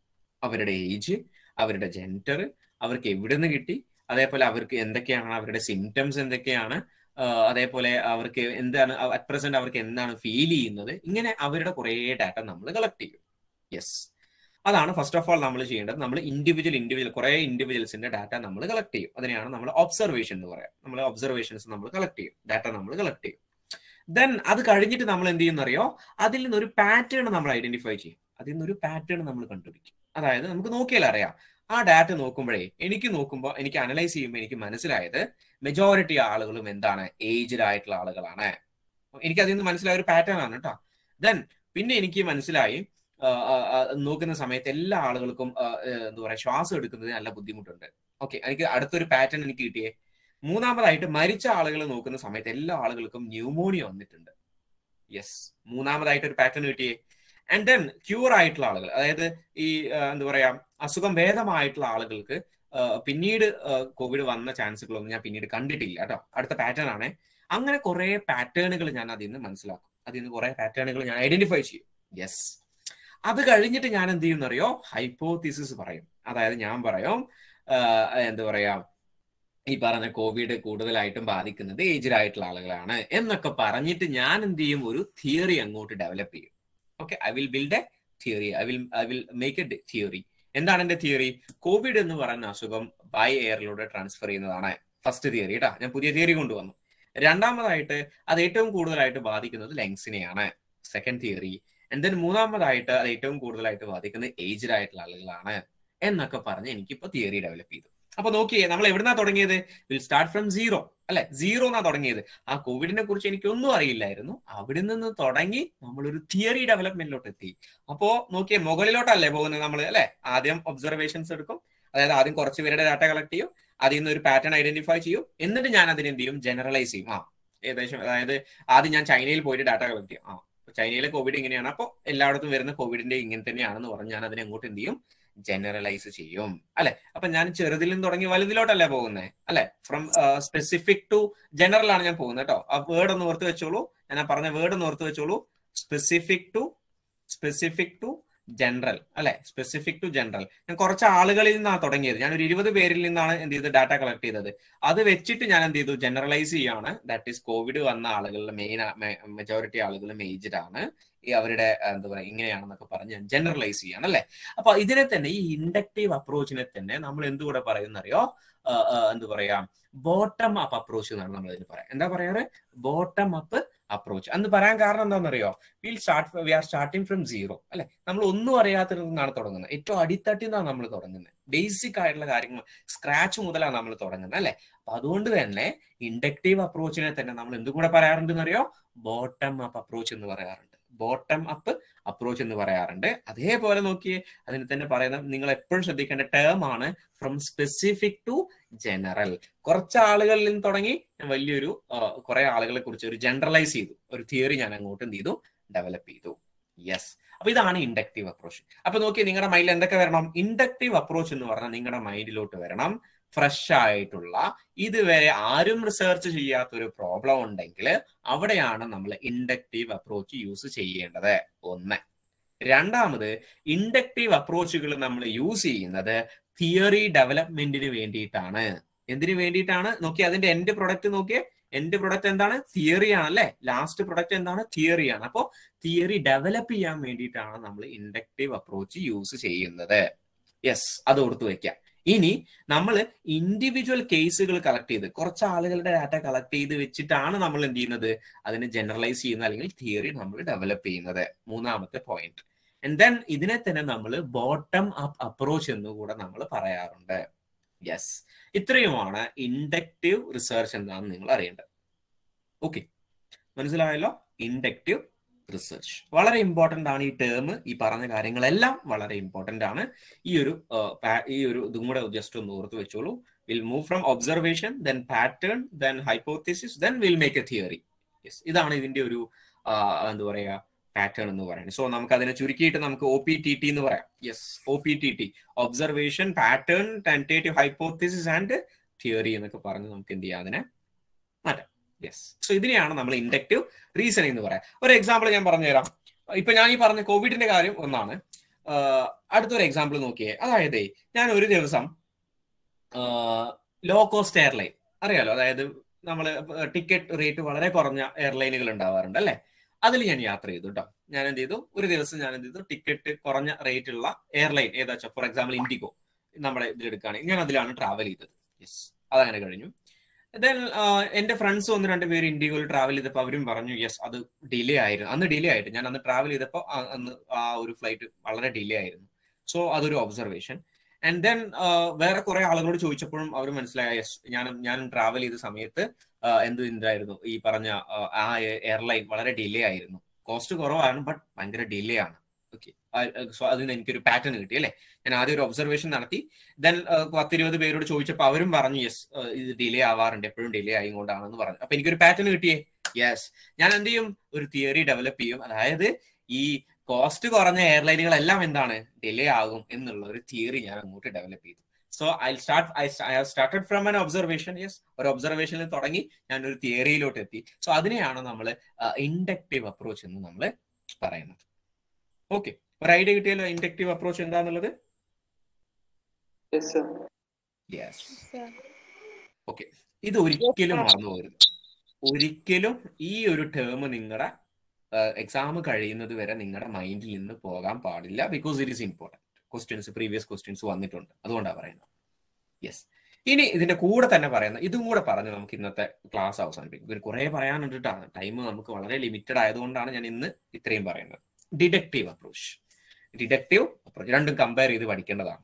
ഇപ്പൊ ഡിഡക്റ്റീവ് അപ്രോച്ച് നമുക്ക് തന്നെ ഊഹിച്ചെടുക്കാവുന്നതേ ഉള്ളൂ.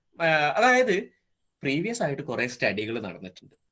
പ്രീവിയസ് ആയിട്ട് കുറെ സ്റ്റഡികൾ നടന്നിട്ടുള്ള ഒരു ടോപ്പിക്കാണ് അപ്പൊ നിങ്ങൾ വിചാരിക്കും പിന്നെ എന്തിനാ അതിൽ റിസർച്ച് നടത്തുന്നത് അതിൽ റിസർച്ച് നടത്തണം.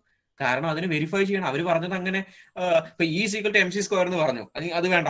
നമ്മുടെ ലോ ഓഫ് ഡിമാൻഡ് നിങ്ങൾക്ക് എല്ലാവർക്കും കുറെ പേർക്ക് അറിയുന്നുണ്ടായിരിക്കും. ലോ ഓഫ് ഡിമാൻഡ് എക്കണോമിക്സിലെ വളരെ ഫേമസ് ആയിട്ടുള്ള ഒരു ഒരു തിയറിയാണ് ലോ ഓഫ് ഡിമാൻഡ് എന്താ ലോ ഓഫ് ഡിമാൻഡ് പറയുന്നത്? ബാക്കിയുള്ള കാര്യങ്ങളെല്ലാം കോൺസ്റ്റന്റ് ആയ. Other things remaining constant there exist a negative relationship between price and demand അല്ലെ? ഒരു സാധനത്തിന്റെ വിലയും അതിന്റെ ഡിമാൻഡും തമ്മിൽ ഇൻവേഴ്സ് റിലേഷൻഷിപ്പ് ആണ്. അതായത് ഒരു സാധനത്തിന്റെ വില കുറഞ്ഞു കഴിഞ്ഞാൽ അതിന്റെ ഡിമാൻഡ് കൂടും. അതേപോലെ സാധനത്തിന്റെ വില കൂടിക്കഴിഞ്ഞാൽ അതിന്റെ ഡിമാൻഡ് കുറയും.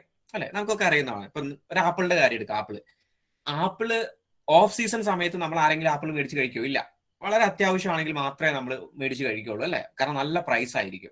ബട്ട് സീസൺ സമയത്തോ എല്ലാ ആളുകളും എന്ത് ചെയ്യും? ആപ്പിൾ മേടിച്ച് കഴിക്കും. കാരണം എന്താ? അത് ചീപ്പായിട്ട് കിട്ടുന്നുണ്ട് അല്ലെ? സോ അതൊരു ഫേമസ് ആയിട്ടുള്ള ഒരു ലോ ആണത് മീൻസ് ഒരു തിയറിയാണ് അത്. ദർ എക്സിസ്റ്റ് നെഗറ്റീവ് റിലേഷൻഷിപ്പ് എന്ന് പറയുന്നത്. അത് അദ്ദേഹം പറഞ്ഞു. അത് പ്രൂവ് ചെയ്യണ്ടേ. അത് ആരോ കണ്ടുപിടിച്ചു. അത് നമ്മൾ പ്രൂവ് ചെയ്യണ്ടേ.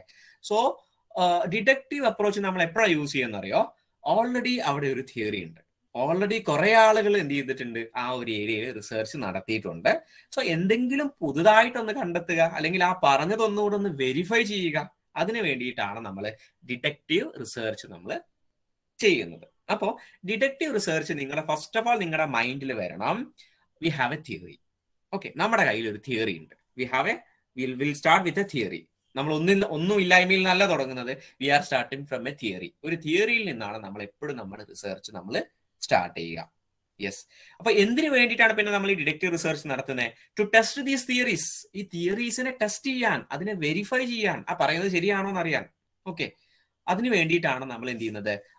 എന്താ പറയാ? ഡിഡക്റ്റീവ് റീസണിങ് അല്ലെങ്കിൽ ഡിഡക്റ്റീവ് റിസർച്ച് നമ്മൾ ചെയ്യുന്നത്. ഓക്കെ എന്തിനു വേണ്ടിയിട്ടാണ്?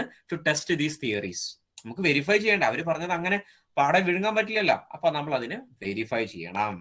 ഇനി ഡിഡക്റ്റീവ് അപ്രോച്ചിന്റെ പ്രത്യേകത നോക്കിയേ it follows a top down approach top down approach നേരത്തെ ഞാൻ എന്താ പറഞ്ഞത്? ബോട്ടം അപ്പ് അപ്രോച്ച് എന്നല്ല പറഞ്ഞത്? ഇപ്പൊ ഞാൻ പറയുന്നത് എന്താണ്? ടോപ്പ് ഡൗൺ അപ്രോച്ച് ആണ്. മുകളിൽ നിന്ന് താഴോട്ടാണ് നമ്മൾ വരിക. അതിന്റെ ഡിഗ്രി നോക്കാം. ഓക്കെ ഇതാണ് ഡിഡക്റ്റീവ് റീസണിങ്ങിന്റെ ഒരു ഫ്ലോ ചാർട്ട് എന്നൊക്കെ നമുക്ക് വേണമെങ്കിൽ പറയാം.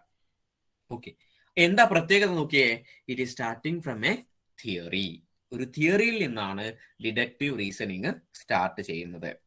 Okay for example law of demand ഇപ്പൊ ഞാൻ പറയാണ് law of demand okay law of demand law of demand എന്താ സംഭവം എന്ന് വെച്ച് കഴിഞ്ഞാൽ പ്രൈസ് കൂടിക്കഴിഞ്ഞാൽ ഒരു സാധനത്തിന്റെ ഡിമാൻഡ് എന്ത് ചെയ്യും? കുറയും.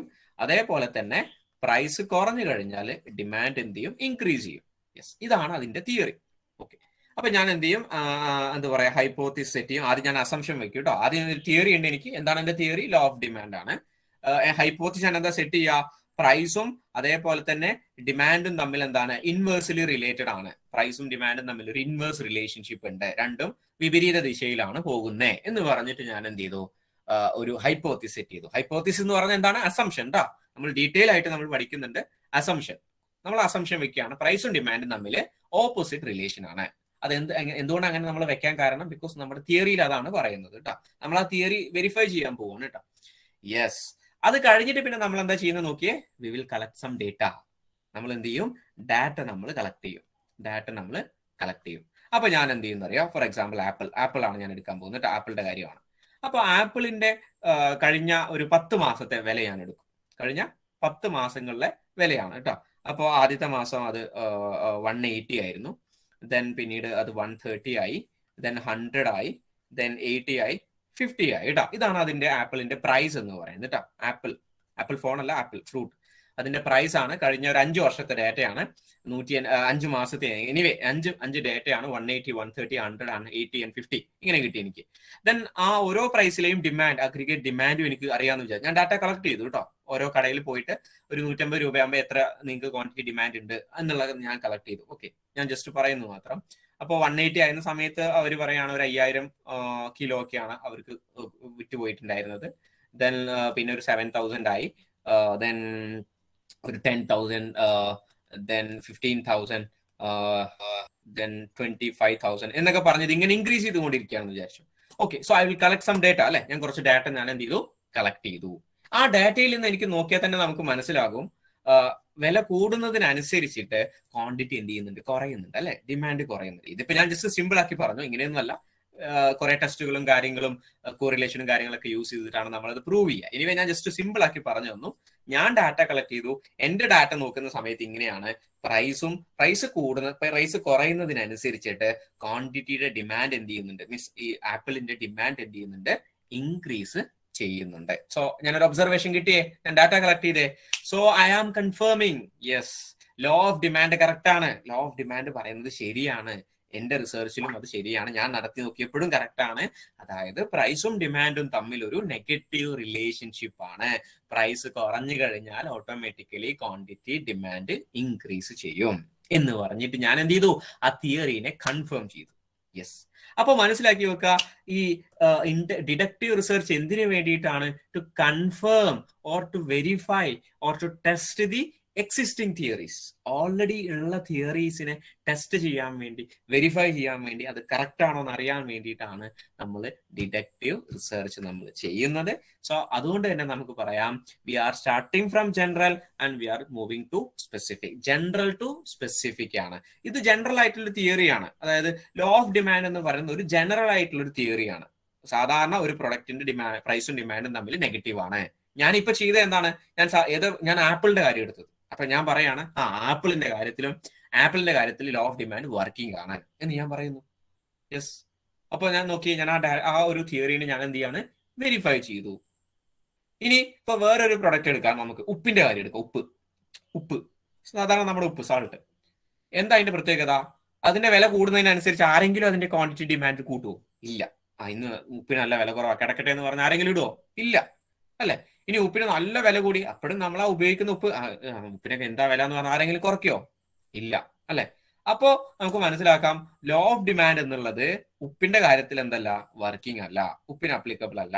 അല്ലെങ്കിൽ ഗിഫൺ ഗുഡ്സിന് അപ്ലിക്കബിൾ അല്ല എന്നൊക്കെ പറഞ്ഞ് നമ്മൾ എന്ത് ചെയ്യും? ആ, ആ തിയറിയെ നമ്മൾ മാറ്റും. ഓക്കെ അത് നിങ്ങൾ കൂടുതലായിട്ട് ഞാൻ അതിലോട്ട് പോകുന്നില്ല. അപ്പോ എന്തിനു വേണ്ടിയിട്ടാണ് ഡിഡക്റ്റീവ് റിസർച്ച് നമ്മൾ ചെയ്യുന്നത്? തിയറീസിനെ ടെസ്റ്റ് ചെയ്യാൻ വേണ്ടിയിട്ടാണ്. ദെൻ അതിന് എന്തുകൂടെ നമ്മൾ പറയാറുണ്ട്? ടോപ്പ് ഡൗൺ അപ്രോച്ച് എന്ന് പറയാറുണ്ട്. കാരണം നോക്കിയേ അത് മുകളിൽ നിന്ന് തുടങ്ങി താഴോട്ടാ പോകുന്നത്. ആരെ നോക്കിയേ? അല്ലെ? ടോപ്പ് ഡൗൺ അപ്രോച്ച് ആണ്. നേരത്തെ നമ്മൾ എന്താ പറഞ്ഞത്? ബോട്ടം അപ്പ് അപ്രോച്ച് അല്ലേ? മുകളിലോട്ടാ പോകുന്നത് അല്ലെ? മുകളിലോട്ടാണ്. അതായത് നമ്മൾ ഒന്നുമില്ലായ്മയിൽ തുടങ്ങി തിയറിയിലോട്ട് പോകുന്നു. ഇതോ നമ്മൾ ഒരു തിയറിയിൽ നിന്ന് തുടങ്ങി ഒരു ആ തിയറിനെ കൺഫേം ആക്കുകയാണ് ചെയ്യുന്നത്. അത്രയേ നമ്മൾ ചെയ്യുന്നത് നമ്മൾ അഡീഷണൽ ആയിട്ട് നമ്മൾ ഒന്നും ചെയ്യുന്നില്ല. അഡീഷണൽ ആയിട്ട് നമ്മൾ തിയറി ഡെവലപ്പ് ചെയ്യുന്നില്ല. നമ്മൾ ജസ്റ്റ് അതിനെ ചെയ്യുന്നു കൺഫേം ആക്കുന്നു. യെസ് അപ്പൊ ഇതാണ് ഡിറ്റക്റ്റീവ് റിസർച്ച് നമുക്ക് ഒരു എക്സാമ്പിൾ എടുക്കാം. ഓക്കെ ഒരു എക്സാമ്പിൾ നോക്കാം. Yes all men are mortal all men are mortal ഒരു ഒരു തിയറിയാണ് അതായത് എല്ലാ മനുഷ്യന്മാരും മരിക്കും. എല്ലാ മനുഷ്യന്മാരും മരിക്കും എന്നുള്ളത് ഒരു തിയറിയാണ് all men are mortal Ravi is a men Ravi എന്ന് പറഞ്ഞ ഒരാൾ അയാൾ മനുഷ്യനാണ്. So Ravi is also mortal Ravi മരിക്കും. അല്ലെ? അപ്പൊ നോക്കിയേ നമ്മളൊരു ജനറൽ ആയിട്ടുള്ള ഒരു കാര്യമാണ്. ഇത് ജനറൽ ആയിട്ടുള്ള ഒരു കാര്യമാണ്. അല്ലെ? ഇതൊരു തിയറിയാണെന്ന് പറയാം. അല്ലെങ്കിൽ ഇതൊരു തിയറിയാണ് അല്ലെങ്കിൽ ജനറലൈസ് ആയിട്ടുള്ള കാര്യമാണ്. ദെൻ ആ ജനറലിൽ നിന്ന് മാറി നമ്മൾ എങ്ങോട്ട് പോയി? സ്പെസിഫിക് ആയിട്ട് പറയാണ് രവി മരിക്കും. രവി എന്ന് പറഞ്ഞ ആൾ മരിക്കും. കാരണം എന്താ? എല്ലാ മനുഷ്യന്മാരും മരിക്കും. അപ്പോ ഇതാണ് ഇത് എന്താണ് നമ്മുടെ ഡിഡക്റ്റീവ് റീസണിങ്ങിന് ഒരു എക്സാമ്പിൾ ആണ്. അല്ലെങ്കിൽ മറ്റു നോക്കി ഓൾ ലയൺസ് ആർ കാർണിവോറസ് അല്ലെ? എല്ലാ ലയൺസും എന്താണ് ഈ മീറ്റ് അതായത് നോൺ വെജിറ്റേറിയൻ ആണ് എന്നാണ് അതിന്റെ അർത്ഥം. So and this animal is a lion ഈ കിടക്കുന്നത് ഒരു ലയൺ ആണ് ഈ ഞാൻ ഈ കണ്ടുകൊണ്ടിരിക്കുന്നത് ഒരു ലയൺ ആണ്. So this animal is a carnivorous അപ്പൊ ഈ ലയണും എന്തായിരിക്കും? ഒരു എന്താ പറയാ മാംസബുക്കായിരിക്കും ഓക്കെ സോ നമ്മളൊരു തിയറിയിൽ നിന്ന് സ്റ്റാർട്ട് ചെയ്ത് സ്പെസിഫിക് ആയിട്ട് പറയാണ്.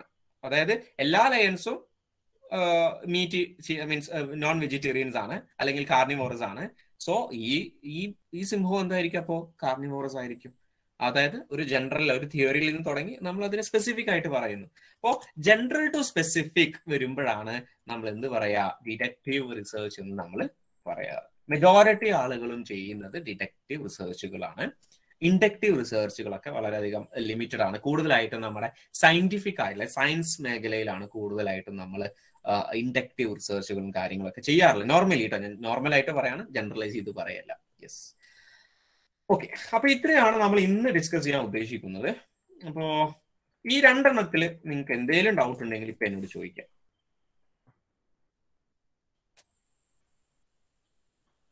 എനി ഡൗട്ട് സാറേ ആ ഇൻഡക്റ്റീവ് റിസർച്ച് റിസർച്ചിന് ബോട്ടം അപ്രോച്ച് എന്ന് പറഞ്ഞില്ലേ? ഇൻഡക്റ്റീവ് റിസർച്ചിന് ബോട്ടം അപ്പ് യെസ് പറഞ്ഞു. ആ അപ്പൊ മറ്റേന്റെ അതേപോലെ ഡിഡക്റ്റീവിന് അതുപോലെ വേറൊരു പേരുണ്ടോ? ടോപ്പ് ഡൗൺ അത് Top ഞാൻ പറഞ്ഞു. down, top down top top down bottom അപ്പും top down താഴോട്ട്. ഒന്ന് താഴോട്ട് മേലോട്ട് ഒന്നേലും താഴോട്ട്. ഒന്ന് ജനറൽ ടു സ്പെസിഫിക് മറ്റേത് സ്പെസിഫിക് ടു ജനറൽ കേട്ടാ.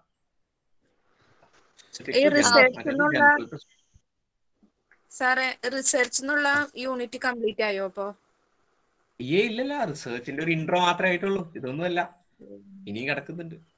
ഇതതിന്റെ സ്റ്റാർട്ടിങ് നമ്മൾ റിപ്പോർട്ടിംഗ് വരെയുണ്ട് ഒരു റിസർച്ച് റിപ്പോർട്ട് ആ റിപ്പോർട്ട് എങ്ങനെ പ്രിപ്പയർ ചെയ്യണം അത് എത്ര ടൈപ്പ് റിപ്പോർട്ട് ഉണ്ട് അതിന്റെ റെഫറൻസ് സ്റ്റൈലുകൾ എങ്ങനെയാണ് അങ്ങനെ ലാസ്റ്റ് വരെ ഉണ്ട് കുറെ ഉണ്ട് കേട്ടോ സാർ ഇത് ഇത് ഡെമോ ക്ലാസ് അല്ലേ?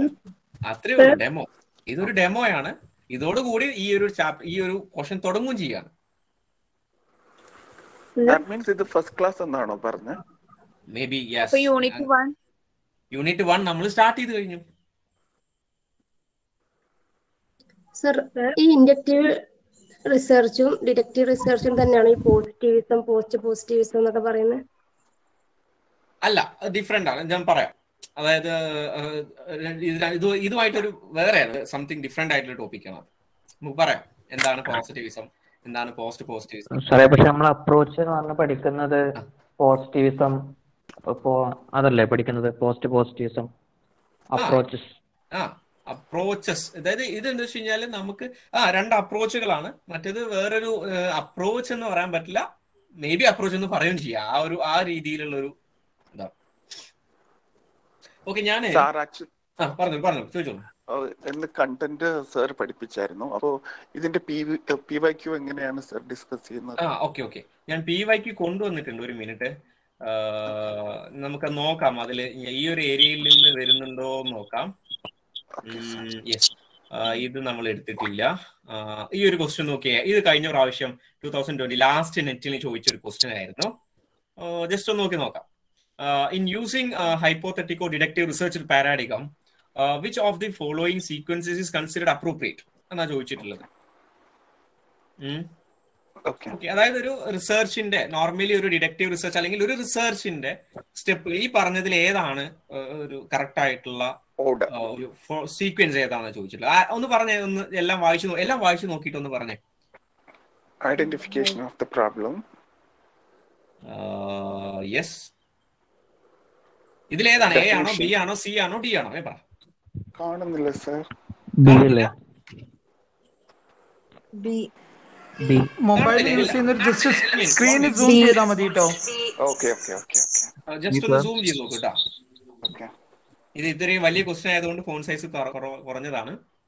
ഒന്ന് നോക്കി എ ആണോ ബി ആണോ സി ആണോ ഡി ആണോ? ബി ആണ്. ആൻസർ ഏതായിരുന്നു ആൻസർ ബി ബി എല്ലാവരും ബി ആണോ? വായിച്ചു നോക്കിയാൽ തന്നെ മനസ്സിലാവൂ ഞാൻ പറഞ്ഞിട്ടുണ്ടായിരുന്നു. എപ്പോഴും നമ്മൾ റിസർച്ച് തുടങ്ങുക ഒരു പ്രോബ്ലത്തിൽ നിന്നായിരിക്കും തുടങ്ങുക അത് കഴിഞ്ഞ ആ പ്രോബ്ലത്തിനെ കുറിച്ച് നമ്മൾ ഒരു ഹൈപ്പോത്തിസ് സെറ്റ് ചെയ്യും. ദെൻ ആ ഹൈപ്പോത്തിസ് നമ്മൾ ടെസ്റ്റ് ചെയ്യും. ആൻഡ് ദെൻ നമ്മൾ അതിനെ ഒരു ജനറലൈസ് ചെയ്യും കൺക്ലൂഷനിലോട്ട് എത്തും അല്ലെ? അങ്ങനെയാണ് വരിക. ബാക്കിയുള്ളതൊക്കെ നോക്കിയേ എല്ലാം തുടങ്ങുന്ന ഹൈപ്പോത്തിസിസ് മേക്കിംഗ് എന്നാണ് തുടങ്ങുന്നത് അല്ലെ? ഇത് ഹൈപ്പോത്തിസിസ് മേക്കിംഗ് ആണ് ഇത് ഹൈപ്പോത്തിസിസ് ടെസ്റ്റിംഗ് എന്നാണ് ഒന്നും ഹൈപ്പോത്തിസിസ് എന്നുകൊണ്ടല്ല സ്റ്റാർട്ട് ചെയ്യുന്നത്. ഇത് ഏറ്റവും സിമ്പിൾ ആയിട്ടാണ്. എന്തോ ചോദിച്ചാൽ അറിയില്ല. ബിക്കോസ് ഇതാണ് ഇതിന്റെ ഒരു ആൻസർ വരുന്നത് എത്രയാണ്? ബി ആണ് ആൻസർ കേട്ടോ. ഓക്കെ എന്തുകൊണ്ടാണ് നമ്മൾ ബി എടുത്തത്? എപ്പോഴും റിസർച്ച് തുടങ്ങുക ഒരു റിസർച്ച് പ്രോബ്ലത്തിൽ നിന്നാണ് തുടങ്ങുക. ഓക്കെ ബാക്കി എല്ലാം തുടങ്ങിയത് എവിടുന്ന? ഹൈപ്പോത്തിസ് മേക്കിംഗ് ഹൈപ്പോത്തിസിസ് ടെസ്റ്റിംഗ് ഇതൊന്നും അല്ല ഫസ്റ്റ് സ്റ്റെപ്പ് ഓക്കെ മനസ്സിലായല്ലോ? യെസ് ഇനി ഇതേതാ? ആ ഇത് വേറെ ഇത് നോക്കി. ജസ്റ്റ് ഒന്ന് ആൻസർ ചെയ്യാൻ പറ്റുമോ? നോക്കിയേ. All research adds to the corpus of knowledge by advancing a theory statement one first statement second statement the focus of action research is basically on the amelioration of prevalent practices ഇത് ആ, എന്താണ് action research എന്ന് അറിയുന്ന ആളുകൾക്ക് ഇത് answer ചെയ്യാൻ പറ്റും. നമ്മൾ എടുത്തിട്ടില്ല അല്ലെ? ആർക്കെങ്കിലും പറയാവോ? ജസ്റ്റ് ഒന്ന് ഗസ് ചെയ്യാവോ? ഏതായിരിക്കും ഇതിന്റെ ആൻസർ എന്നുള്ളത്? ഓപ്ഷൻ എ വേറെ ആർക്കെങ്കിലും?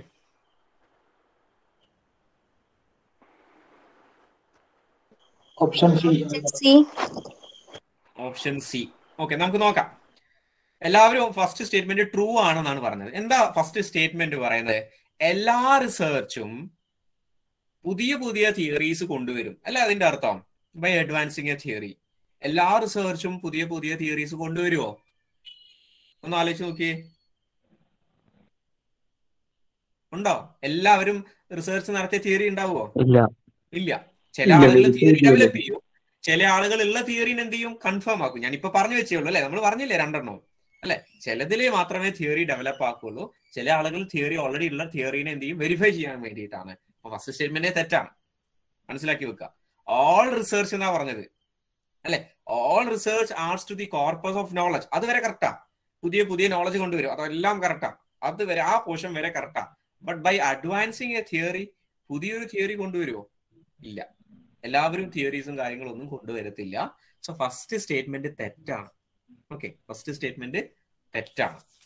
ഇനി രണ്ടാമത്തെ സ്റ്റേറ്റ്മെന്റ് എന്ന് പറഞ്ഞാൽ ആക്ഷൻ റിസർച്ചിന്റെ പ്രധാനപ്പെട്ട ലക്ഷ്യം എന്ന് പറഞ്ഞാൽ എന്തെങ്കിലും ഒരു അതായത് ഇപ്പോൾ ഉള്ള ഇതിൽ എന്തെങ്കിലും ഒരു കാര്യമായ മാറ്റം വരുത്താൻ വേണ്ടിയിട്ടാണ് ആക്ഷൻ റിസർച്ച് നടത്തുക എന്നുള്ളതാണ്.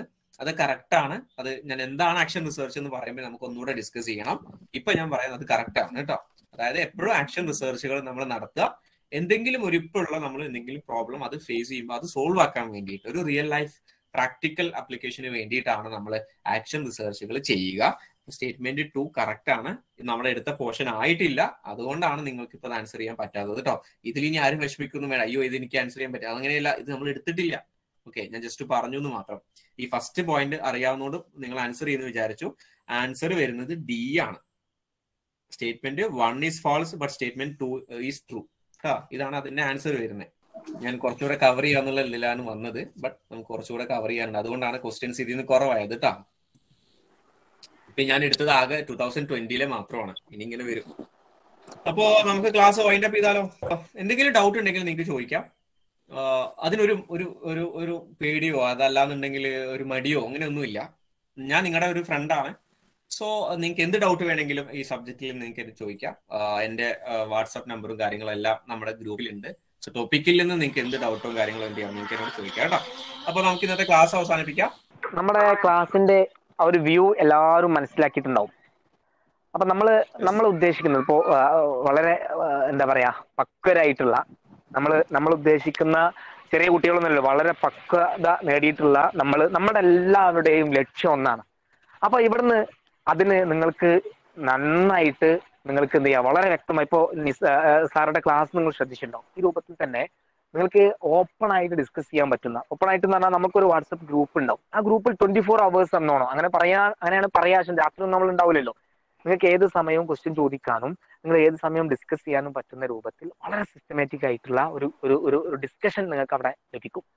ആ ഡിസ്കഷനിന്റെ പുറമെയാണ് അതായത് നമ്മുടെ ക്ലാസ്സുകൾക്കൊക്കെ പുറമെ വരുന്നതാണ് ഞാൻ പറഞ്ഞിട്ടുള്ളത്. അത് നമ്മുടെ ടീച്ചേഴ്സ് ഒക്കെ അവൈലബിൾ ആയിരിക്കും.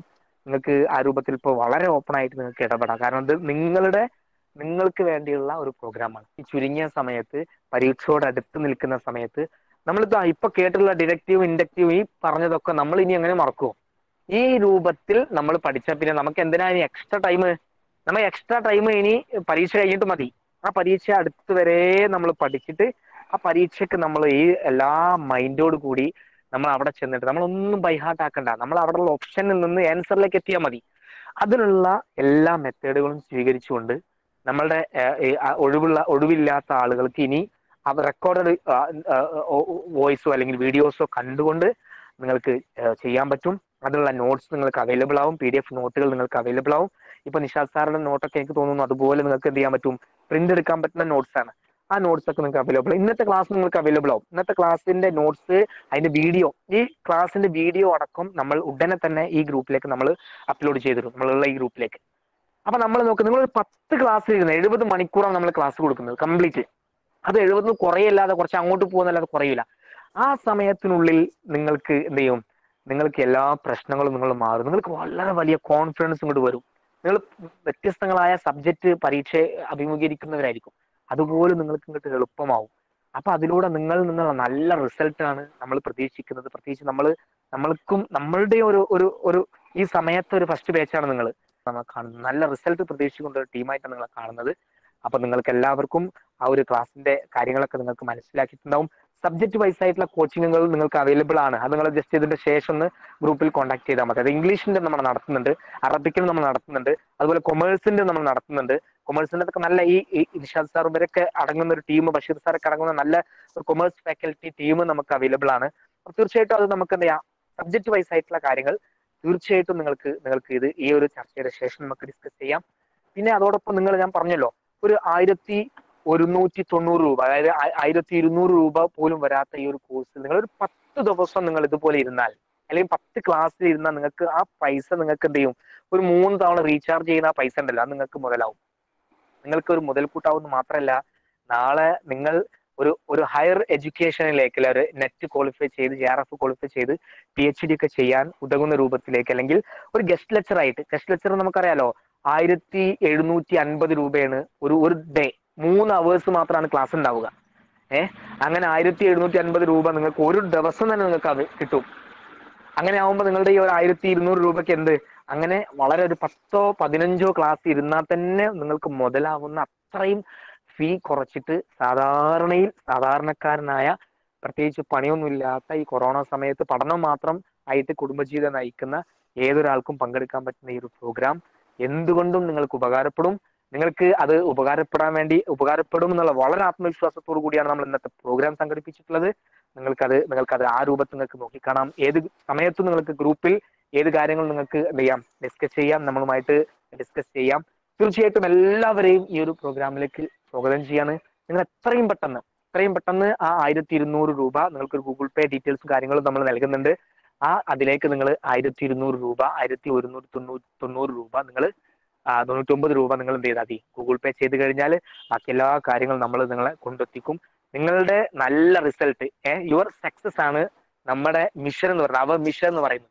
അപ്പൊ അതിന് നിങ്ങൾ ഞങ്ങളുടെ കൂടെ ഉണ്ടാകുമെന്നുള്ള ആത്മവിശ്വാസത്തോടു കൂടി ഈ ഒരു പ്രോഗ്രാം ഇനി എന്തെങ്കിലും നമുക്ക് പറയാനുണ്ടെങ്കിൽ നമുക്ക് പറയാം. പല ആളുകളും പല കാര്യങ്ങളും ചോദിച്ചിരുന്നു. എല്ലാം കൂടി കൂട്ടി ഒരൊറ്റ രണ്ട് മിനിറ്റ് കൊണ്ട് പറഞ്ഞു തീർക്കുക. നിങ്ങൾ നമ്മൾ നമ്മളിപ്പോ നിൽക്കുന്നത് മൈനസ് മാർക്ക് ഇല്ലാത്ത ഒരു നെറ്റ് പരീക്ഷയുടെ മുമ്പിലാണ്. മൈനസ് മാർക്ക് ഇല്ല. എന്നാൽ സയൻസ് സബ്ജക്റ്റുകളൊക്കെ വരുന്ന മറ്റൊരു നെറ്റ് നടക്കുന്നുണ്ട്. അതിൽ മൈനസ് മാർക്ക് വരുന്നുണ്ട്. പക്ഷെ നമുക്ക് മൈനസ് മാർക്ക് ഇല്ല. രണ്ട് രണ്ട് വർഷങ്ങൾക്ക് മുമ്പ് വരെ അല്ലെങ്കിൽ മൂന്ന് വർഷങ്ങൾക്ക് മുമ്പ് വരെ യു ജി സി അല്ലെങ്കിൽ നമ്മുടെ സി ബി എസ് ഇ ഒക്കെ നടത്തിയ സമയത്ത് അവർ ഫസ്റ്റ് പേപ്പർ പേപ്പർ വണ്ണ് അറുപത് മിനിറ്റ് കൊണ്ട് ഒരു ഹവർ കൊണ്ട് അൻപത് ക്വസ്റ്റ്യൻസ് അറ്റൻഡ് ചെയ്യുന്ന സിസ്റ്റം ആയിരുന്നു. അപ്പൊ മാത്സും മറ്റു പ്രോബ്ലംസും ഡാറ്റ ഇന്റർപ്രിട്ടേഷൻ ഒക്കെ ചെയ്യാൻ വളരെയേറെ പ്രയാസം ഉണ്ടായിരുന്നു. അങ്ങനെ ടൈം കുറഞ്ഞു പോകുന്ന ഒരു പ്രയാസം ഉണ്ടായിരുന്നു. ഇപ്രാവശ്യം ഈ ടൈം അങ്ങനെയല്ല. നൂറ്റി എൺപത് മിനിറ്റ്സ് മുകളിൽ അങ്ങനെ കാണിച്ചിട്ട് നിങ്ങൾക്ക് ഫസ്റ്റ് പേപ്പറും സെക്കൻഡ് പേപ്പറും ഇഷ്ടമുള്ളത് അറ്റൻഡ് ചെയ്ത് നൂറ്റി എൺപത് മിനിറ്റ് കൊണ്ട് സബ്മിറ്റ് ചെയ്യുകയോ അല്ലെങ്കിൽ ഓട്ടോമാറ്റിക് സബ്മിറ്റ് സംഭവിക്കുകയോ ചെയ്യുന്ന ഒരു സിസ്റ്റമാണ് ഇപ്പൊ നമ്മുടെ മുമ്പിലുള്ളത്. അതുപോലെ തന്നെ തൊട്ട് മുമ്പ് വേറൊരു സിസ്റ്റം ഉണ്ടായിരുന്നു. ഇംഗ്ലീഷിൽ പേപ്പർ വണ്ണിൽ നിങ്ങൾക്ക് ഒരു മിനിമം മാർക്ക് കിട്ടിയാൽ മാത്രമേ പേപ്പർ ടു വാല്യൂ ചെയ്യുള്ളൂ. അങ്ങനെ ഉണ്ടായിരുന്നു. ഇപ്പൊ അതും ഇല്ല. നിങ്ങൾക്ക് പേപ്പർ വണ്ണിൽ രണ്ടും കൂടി കൂട്ടിയിട്ടുള്ള ഒരു മാർക്കാണ് നിങ്ങളെ നെറ്റിലേക്കും ജെ ആർ എഫിലേക്കും എത്തിക്കുക. ഇങ്ങനത്തെ ഫെസിലിറ്റീസ് എല്ലാം ഇപ്പോഴും നമ്മുടെ മുമ്പിലുണ്ട്. യു ജി സിക്ക് എൻ ഡി എക്ക് അതൊക്കെ എടുത്തു മാറ്റാം. പക്ഷേ നമുക്ക് ഇപ്പൊ ആ ഒരു ഓപ്പർച്യൂണിറ്റീസ് ഒക്കെ ഉണ്ട്. ഈ ഓപ്പർച്യൂണിറ്റീസ് ഒക്കെ ലഭിച്ചിരിക്കുന്ന ഈ ഒരു സമയത്ത് ഇനി ആരെങ്കിലും അപേക്ഷ കൊടുക്കാനുണ്ടെങ്കിൽ അതുകൂടി ഈ സെപ്റ്റംബർ ആറിന് മുമ്പേ കൊടുത്തിട്ട് നമ്മൾ നമ്മുടെ നെറ്റ് പരീക്ഷയ്ക്ക് ഒരുങ്ങാൻ നിങ്ങൾ സന്നദ്ധമാണോ എങ്കിൽ എങ്കിൽ നിങ്ങളെ വളരെ സന്തോഷത്തോടു കൂടി നമ്മൾ വിളിക്കുകയാണ്. നിങ്ങൾക്ക് എന്തുകൊണ്ടും അതൊരു ജീവിതത്തിലെ ഒരു വലിയൊരു വഴിത്തിരിവായി മാറും എന്ന് ഉണർത്തുകയാണ്. ഇനി ഇതുമായി ബന്ധപ്പെട്ട എന്തെങ്കിലും കാര്യങ്ങൾ നമ്മളെ ഡിസ്കസ് ചെയ്യാനുണ്ടെങ്കിൽ നിങ്ങൾക്ക് അതിനുള്ള ഒരു അവസരം കൊടുക്കല്ലേ sir Basheer sir Nishad sir എല്ലാവരും റെക്കോർഡിലാണ് ക്ലാസ് നിങ്ങൾക്ക് ഏത് സമയത്ത് നിങ്ങൾക്ക് എന്ത് ചെയ്യാം? അത് ഉപയോഗിക്കാം. എല്ലാ ദിവസവും കണ്ടിന്യൂസ് ആണ് നമ്മൾ ഈ ഇരുപത്തി അഞ്ചാം തീയതി സ്റ്റാർട്ട് ചെയ്താൽ പിന്നെ സെപ്റ്റംബർ മുപ്പത് കണ്ടിന്യൂസ് ഡേയ്സ് ആണ്. കാരണം നമുക്ക് എക്സാമിന് വേറെ ദിവസങ്ങൾ ഇല്ലല്ലോ ലാവിഷാക്കാനോ ലെഷർ ടൈമിനുള്ള സമയമില്ല നമുക്ക്. സോ അതുകൊണ്ട് കണ്ടിന്യൂസ് ക്ലാസ് ആണ്. ഈവനിങ് സെവൻ തേർട്ടിക്ക് സ്റ്റാർട്ട് ചെയ്യും. ഇൻഷാല്ല ഒമ്പതര വരെ ഉണ്ടാവും. രണ്ട് മണിക്കൂർ ക്ലാസ് ആയിരിക്കും. അപ്പം നിങ്ങൾ നിങ്ങളിലേക്ക് ആ സംഭവം എത്താന്നുള്ളതാണ് അൾട്ടിമേറ്റ് നമ്മളൊരു ടൈം ലിമിറ്റിനേക്കാളും ആ നമുക്ക് നാല് ദിവസം കൊണ്ട് നാല് ഓൾട്ടർനേറ്റ് ഡേയ്സ് ആണ്. അപ്പൊ ഒരേ സമയത്ത് നമുക്ക് രണ്ട് സബ്ജക്റ്റ് ആണ് ഉണ്ടാവുക കേട്ടോ. അപ്പം ഇരുപത്തി അഞ്ചാം തീയതി ഒരു സബ്ജക്റ്റ് ആണെങ്കിൽ ഇരുപത്തി അഞ്ച് ഇരുപത്തി ഏഴ് ഇരുപത്തി ഒമ്പത് മുപ്പത്തൊന്ന് അതേ സബ്ജക്റ്റ് ആയിരിക്കും. ഇരുപത്തി ആറ് ഇരുപത്തെട്ട് മുപ്പത് ഒന്ന്. ഇത് രണ്ടാമത്തെ സബ്ജക്റ്റ് ആയിരിക്കും. ഇത് രണ്ടും ആയിരിക്കും ഓൾട്ടർനേറ്റ് ഡേയ്സിൽ ഉണ്ടാവുക. എന്നിട്ട് ആ സബ്ജക്ട് കംപ്ലീറ്റ് ആക്കിയതിനു ശേഷം നെക്സ്റ്റ് ഡേ മുതൽ അടുത്ത രണ്ട് സബ്ജക്റ്റുകൾ സ്റ്റാർട്ട് ചെയ്യും.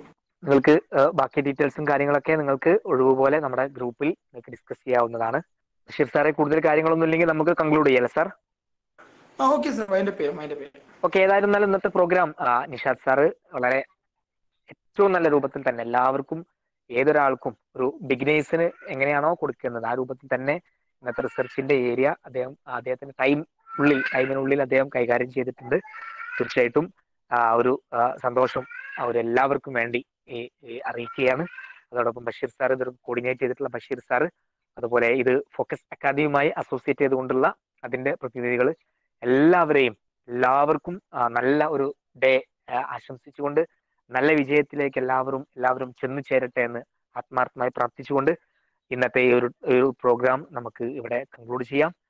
തുടർന്ന് നിങ്ങളുടെ സമീപനത്തിനനുസരിച്ച് നിങ്ങൾക്ക് എത്രയും പെട്ടെന്ന് എത്രയും പെട്ടെന്ന് Google Pay number Google Pay ചെയ്തുകൊണ്ട് നിങ്ങൾക്ക് തീർച്ചയായും ഏറ്റവും നല്ല രൂപത്തിൽ ഈ ഒരു ഭാഗം പേപ്പർ വൺ നിങ്ങൾക്ക് ഫിനിഷ് ചെയ്യാൻ നമ്മൾ നിങ്ങളെ സഹായിക്കും.